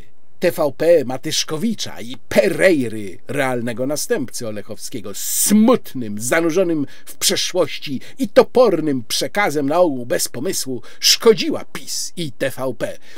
Zabawne w tym raporcie jest to, że jego autorzy tworzą taką wizję, że TVP Matyszkowicza była no, zasadniczo i głęboko odmienna od TVP Jacka Kurskiego. I oni to nawet uzasadniają. To jest bardzo rozbudowane, bo ten raport w ogóle jest bardzo długi, e, więc nawet można by powiedzieć, że jeżeli ktoś patrzy na te detale telewizyjne, to nawet to uzasadnienie no, jakoś tam się klei.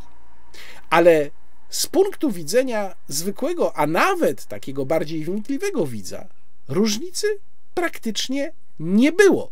Więc tutaj wynoszenie pod niebiosa Jacka Kurskiego i traktowanie Matyszkowicza jako patałacha i zdrajcy, no, wydaje się pewnego rodzaju projekcją autorów tego raportu, wśród których, przypominam to po raz trzeci, nie było Jacka Kurskiego. Są tutaj y, pewne trafne diagnozy polityczne które się przewijają w tym raporcie. Jedną z tych diagnoz, i tutaj nie będę już cytował konkretnych fragmentów, bo może nie ma sensu, bo ta diagnoza jest rozbita na wiele akapitów, jest kwestia pompowania Donalda Tuska.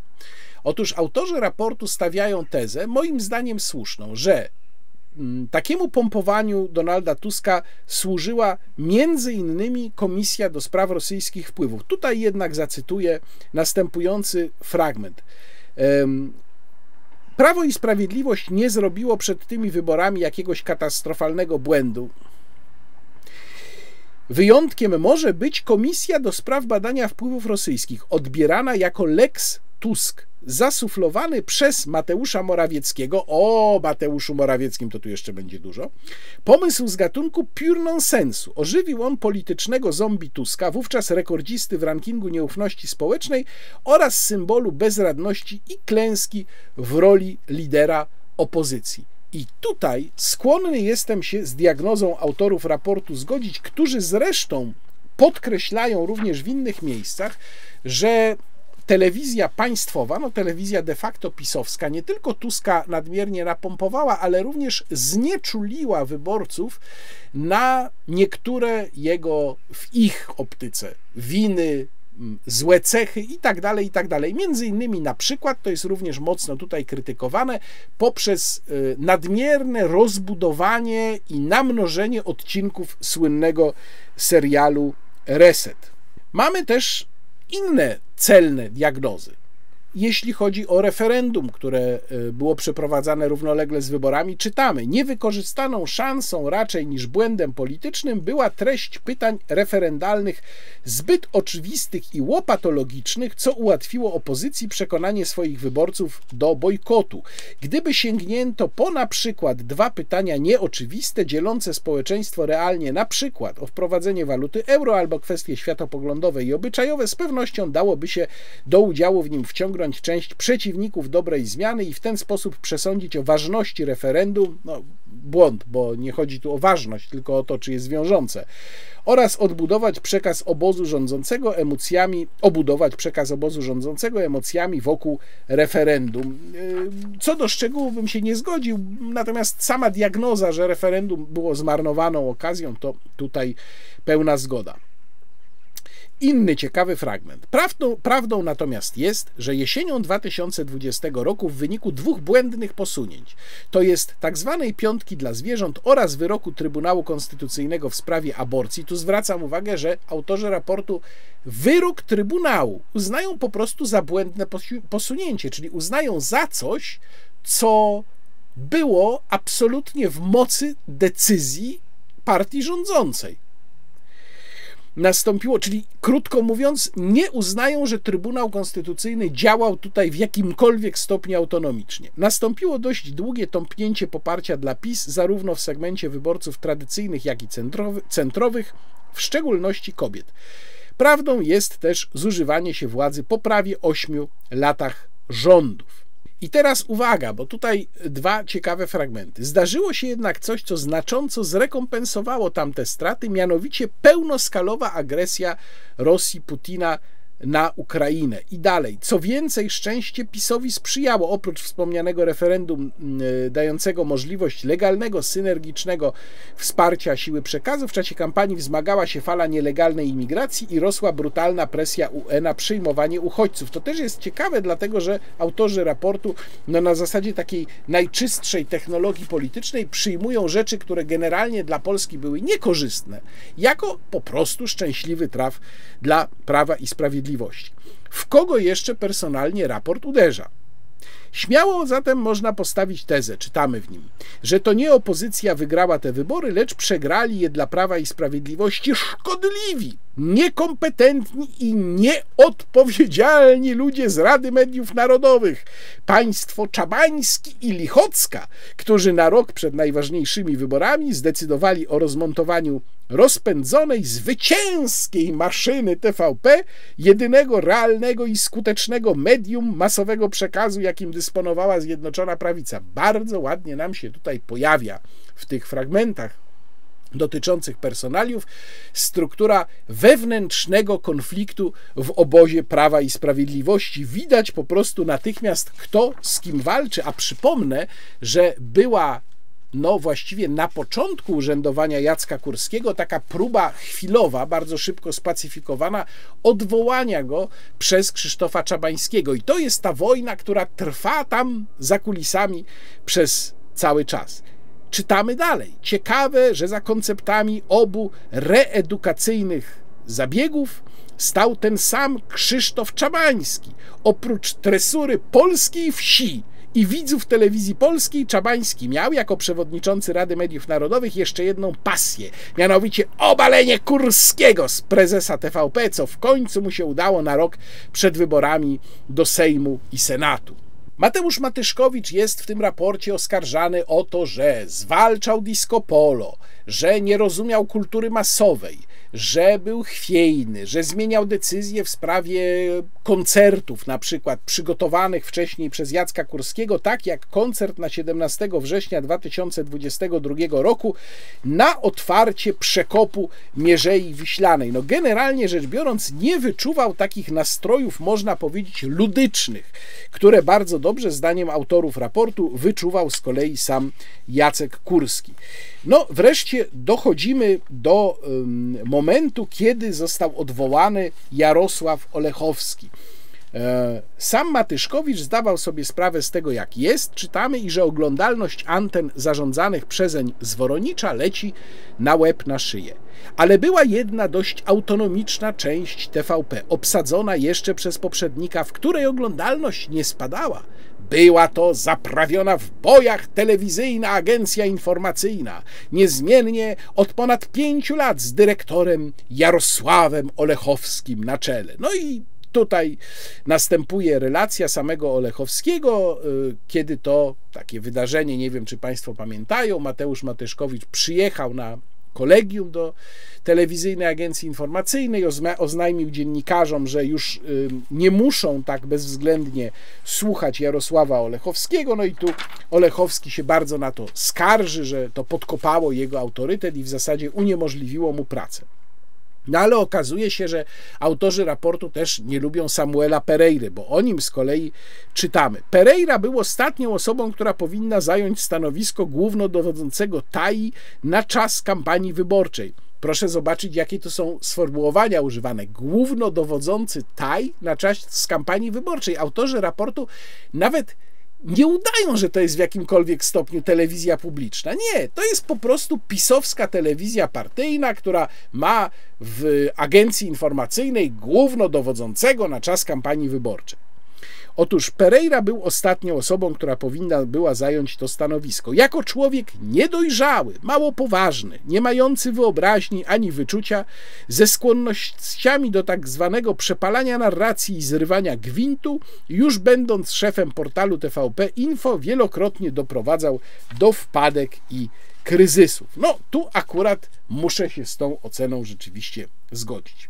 Co się stało w związku z tym po przejęciu kontroli przez Samuela Pereira, jak zmienił się przekaz. Z dnia na dzień na przykład zrezygnowano z optymalnej dotąd linii sprawdzania wiarygodności Donalda Tuska zbalansowanym konfrontowaniem jego deklaracji z działaniami z przeszłości na rzecz obsesyjnej, chamskiej i przeciwskutecznej karykatury. Czyli, proszę Państwa, żeby to było jasne, za Kurskiego, zdaniem autorów tego raportu, przedstawiano Donalda Tuska w taki zbalansowany, niechamski sposób, prawda? A dopiero za Matyszkowicza i Pereiry zaczęto walić w Tuska na chama.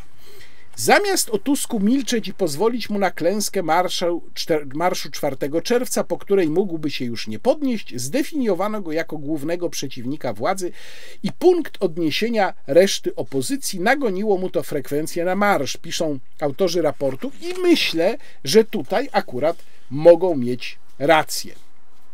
W wyniku przepalenia z intensywnością i wulgarnością ataków podsycanych przez Samuela Pereire, który forsował w wiadomościach i innych serwisach informacyjnych felietony choćby o zbyt drogich butach Tuska, czy materiały atakujące jego córkę, TVP uskrzydliła politycznego zombie.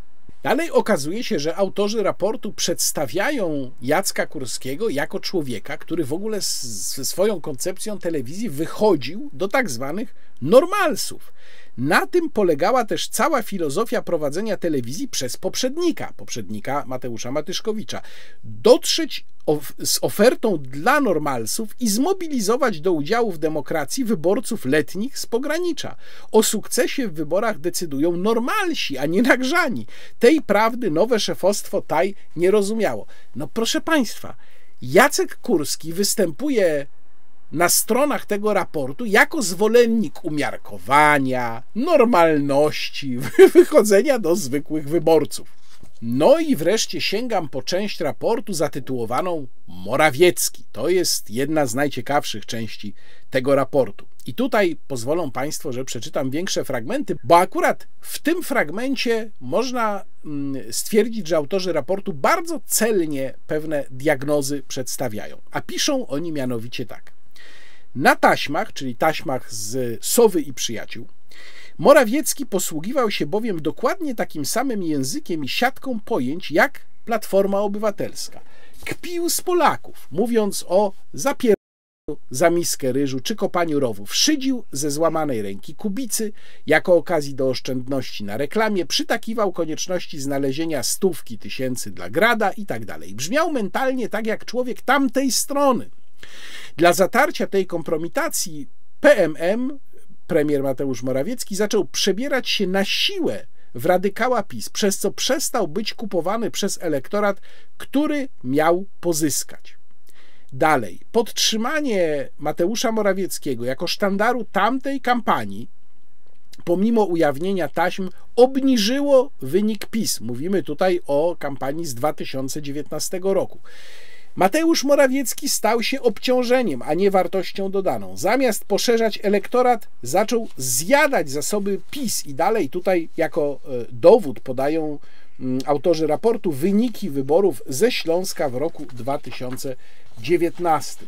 Wreszcie fragment, który nawiązuje już do aktualnych wydarzeń. Czytamy tak. Kiedy ten raport kończono, jego autorów, którzy zasadniczo unikali bezpośredniego mieszania się do polityki i komentowania czegokolwiek innego niż rola telewizji, no oczywiście, właśnie to widzimy w raporcie, zszokował tupet Mateusza Morawieckiego, który ujawnił publicznie swoje plany przejęcia prezesury Prawa i Sprawiedliwości po Jarosławie Kaczyńskim co w historii polityki prawie zawsze oznaczało uprzednią grę na osłabienie dotychczasowego lidera.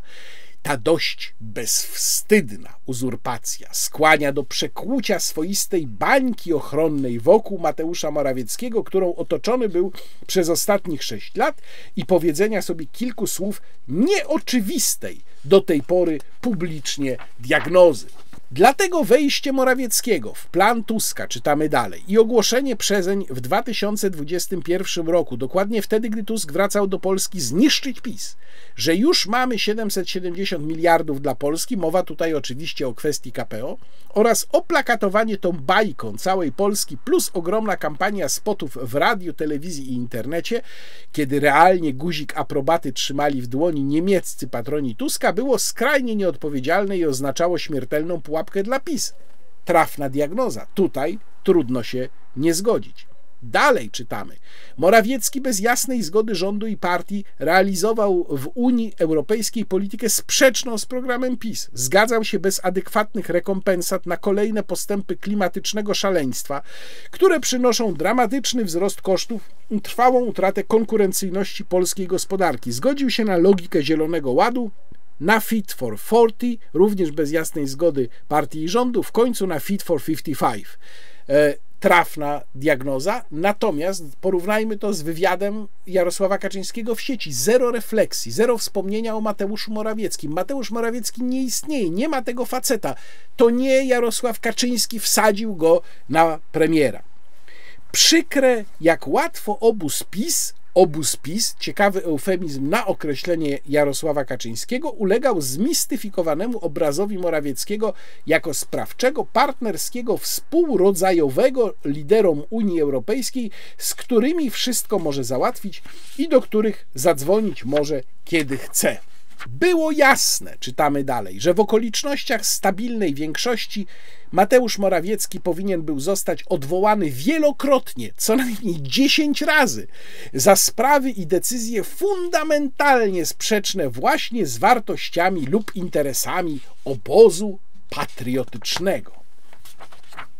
I dalej mamy takie wymienienie um, win Mateusza Morawieckiego, różnych najważniejszych, w tym taśmy, sowy i przyjaciół, przekręt na działkach kościelnych, które kupił za grosze, a sprzedał za miliony, ściemę z oświadczeniem majątkowym żony, zwalenie projektu, zawalenie projektu polskiego ładu, przedwczesne i jednostronne ogłoszenie embarga na rosyjski węgiel po wybuchu wojny, sabotowanie zmian w mediach, rozdanie w pandemii mnóstwa pieniędzy elektoratowi Platformy Obywatelskiej. No, znów trudno się z tym wszystkim nie zgodzić.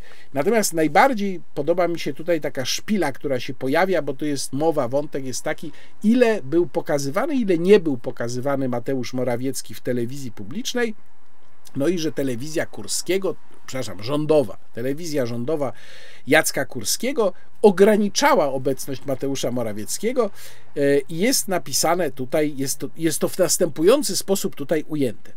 W wyniku merytorycznego, partnerskiego dialogu TVP z kancelarią prezesa Rady Ministrów udawało się dochodzić do konsensusu, by szanować czas premiera i nie nadwyrężać go w finale tamtych kampanii wyborczych. Wszystkie zakończyły się miażdżącym zwycięstwem prawa i sprawiedliwości. No i wreszcie na koniec, już w podsumowaniu tego raportu, mm, czytamy kilka ogólnych e, uwag, z których szczególnie jedną zostawię sobie na koniec, e, bo wcześniej jeszcze. Dlatego jakiekolwiek głosy na temat ustąpienia prezesa Jarosława Kaczyńskiego z funkcji prezesa Prawa i Sprawiedliwości, czy gotowości zastąpienia go w niedalekiej przyszłości, uznać należy za godzące w fundament, imponderabilia i interesy obozu patriotycznego. Bez Jarosława Kaczyńskiego nie będzie Prawa i Sprawiedliwości, a bez PiS nie będzie ośrodka krystalizacji machiny politycznej zdolnej do odbudowy zaufania społecznego i przeprowadzenia demokratycznego procesu odzyskania władzy przez obóz propolski. Kłaniają się tutaj sformułowania ulubione przez braci klęczących, ale to pewnie przypadek. To elementarz wiedzy o polskiej polityce. Uzurpacje Mateusza Morawieckiego zostały już tu ocenione, ale zdumiewają podobne oceny w ustach profesora Andrzeja Nowaka. A jeszcze bardziej charakter powodów, które podnosi dziś. I dalej czytamy. Teraz najważniejsza jest sprawa sprawa obrony demokracji i niepodległości Polski. Potrzeba dziś skupienia się wokół prawdy, uczciwej diagnozy i jedności wokół dobrego planu i wiarygodnego przywództwa. W najcięższych dla prawicy czasach było to zawsze domeną prezesa Jarosława Kaczyńskiego. I wreszcie ten fragment, który zostawiłem sobie na koniec. Gdyby ten raport czytał Paweł Jasienica, i podzielał tę ocenę. To, trawestując dzieje agonii, chodzi tutaj o ostatnią część cyklu y, historii Rzeczypospolitej Pawła Jasienicy, mógłby dodać, że PiS zdał się na łaskę dwóch, jak się ich nazywa, Mateuszków, Morawieckiego i Matyszkowicza, którzy zatopili okręt rządów Prawa i Sprawiedliwości na płytkiej wodzie kilka metrów od brzegu. Kiedy słyszy się teraz, że jeden Mateusz po przegraniu władzy szykuje się do przyjęcia prezesury Prawa i Sprawiedliwości, największego instytucjonalnego dzieła i sukcesu prawicy w wolnej Polsce, a drugi, pomimo zdrady, ma odpowiadać za nowy, główny projekt medialny w opozycji, to mimo, że wypadałoby poprzestać na kulturalnym przywołaniu Cycerona i jego myśli o utwierdzaniu się w błędzie, to jednak samo się tu nasuwa swojskie i rodzime powiedzenie Kisiela, to, że jesteśmy w dupie, to jasne problem w tym, że zaczynamy się w niej urządzać. Więc ja muszę Państwu powiedzieć, że przeczytałem ten raport z dużym zainteresowaniem. Zgadzam się, tak jak już podkreślałem, z niektórymi diagnozami w nim zawartymi, szczególnie tymi dotyczącymi pana premiera Mateusza Morawieckiego.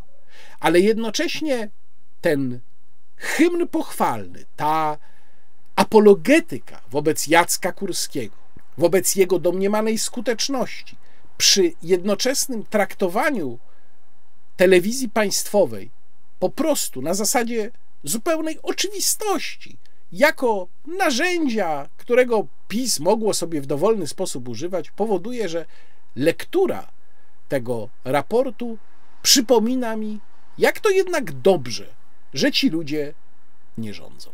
I że po prostu nie pozwolimy, żeby planeta nam się spaliła. To jest zdrada. Für Deutschland. W tym wydaniu wideoblogu i tak bardzo długim, chociaż jak widzę do trzech godzin to jednak nie doszło, ale do dwóch i pół godziny w zasadzie tak. Nie będzie normalnego działu kulturalnego, bo też nie mam Państwu za bardzo nic do opowiedzenia, ale pewnie będzie już coś w następnym wydaniu wideoblogu. Natomiast chciałbym przypomnieć, że 1,5% mm, naszego podatku możemy przeznaczyć e, na organizacje pożytku publicznego i ja namawiam Państwa, żeby Państwo przeznaczyli, jeżeli mają oczywiście Państwo chęć, te 1,5% na Fundację Incanto, która przypomnę nie otrzymała w tym roku żadnego dofinansowania z programu Muzyka, programu Ministerstwa Kultury i Dziedzictwa Narodowego na którykolwiek ze swoich festiwali. A jeśli chcą Państwo przeznaczyć te 1,5% na inną organizację, to przynajmniej proszę wejść na stronę Fundacji Incanto i zobaczyć, jak piękne, wielkanocne kartki mogą Państwo zamówić w sklepie Fundacji Incanto. Być może przy okazji zamówią Państwo też jakieś płyty, do czego namawiam. Bardzo Państwu dziękuję za dzisiaj i proszę o rozpowszechnianie tego filmu, w szczególności ze względu na to, co znalazło się w jego pierwszej części, czyli w szczególności ze względu na te wątki, które dotyczą polityki klimatycznej Unii Europejskiej, bo uważam, że bardzo ważne jest to, żeby to przesłanie, te informacje dotarły do ludzi, którzy nie mają pojęcia, co Unia Europejska nam szykuje i za czym głosują polscy europosłowie. Bardzo dziękuję wszystkim widzom, subskrybentom i przede wszystkim bardzo dziękuję i nisko się chłaniam moim mecenasom. Pozdrawiam Państwa serdecznie. Łukasz Warzecha. Do zobaczenia.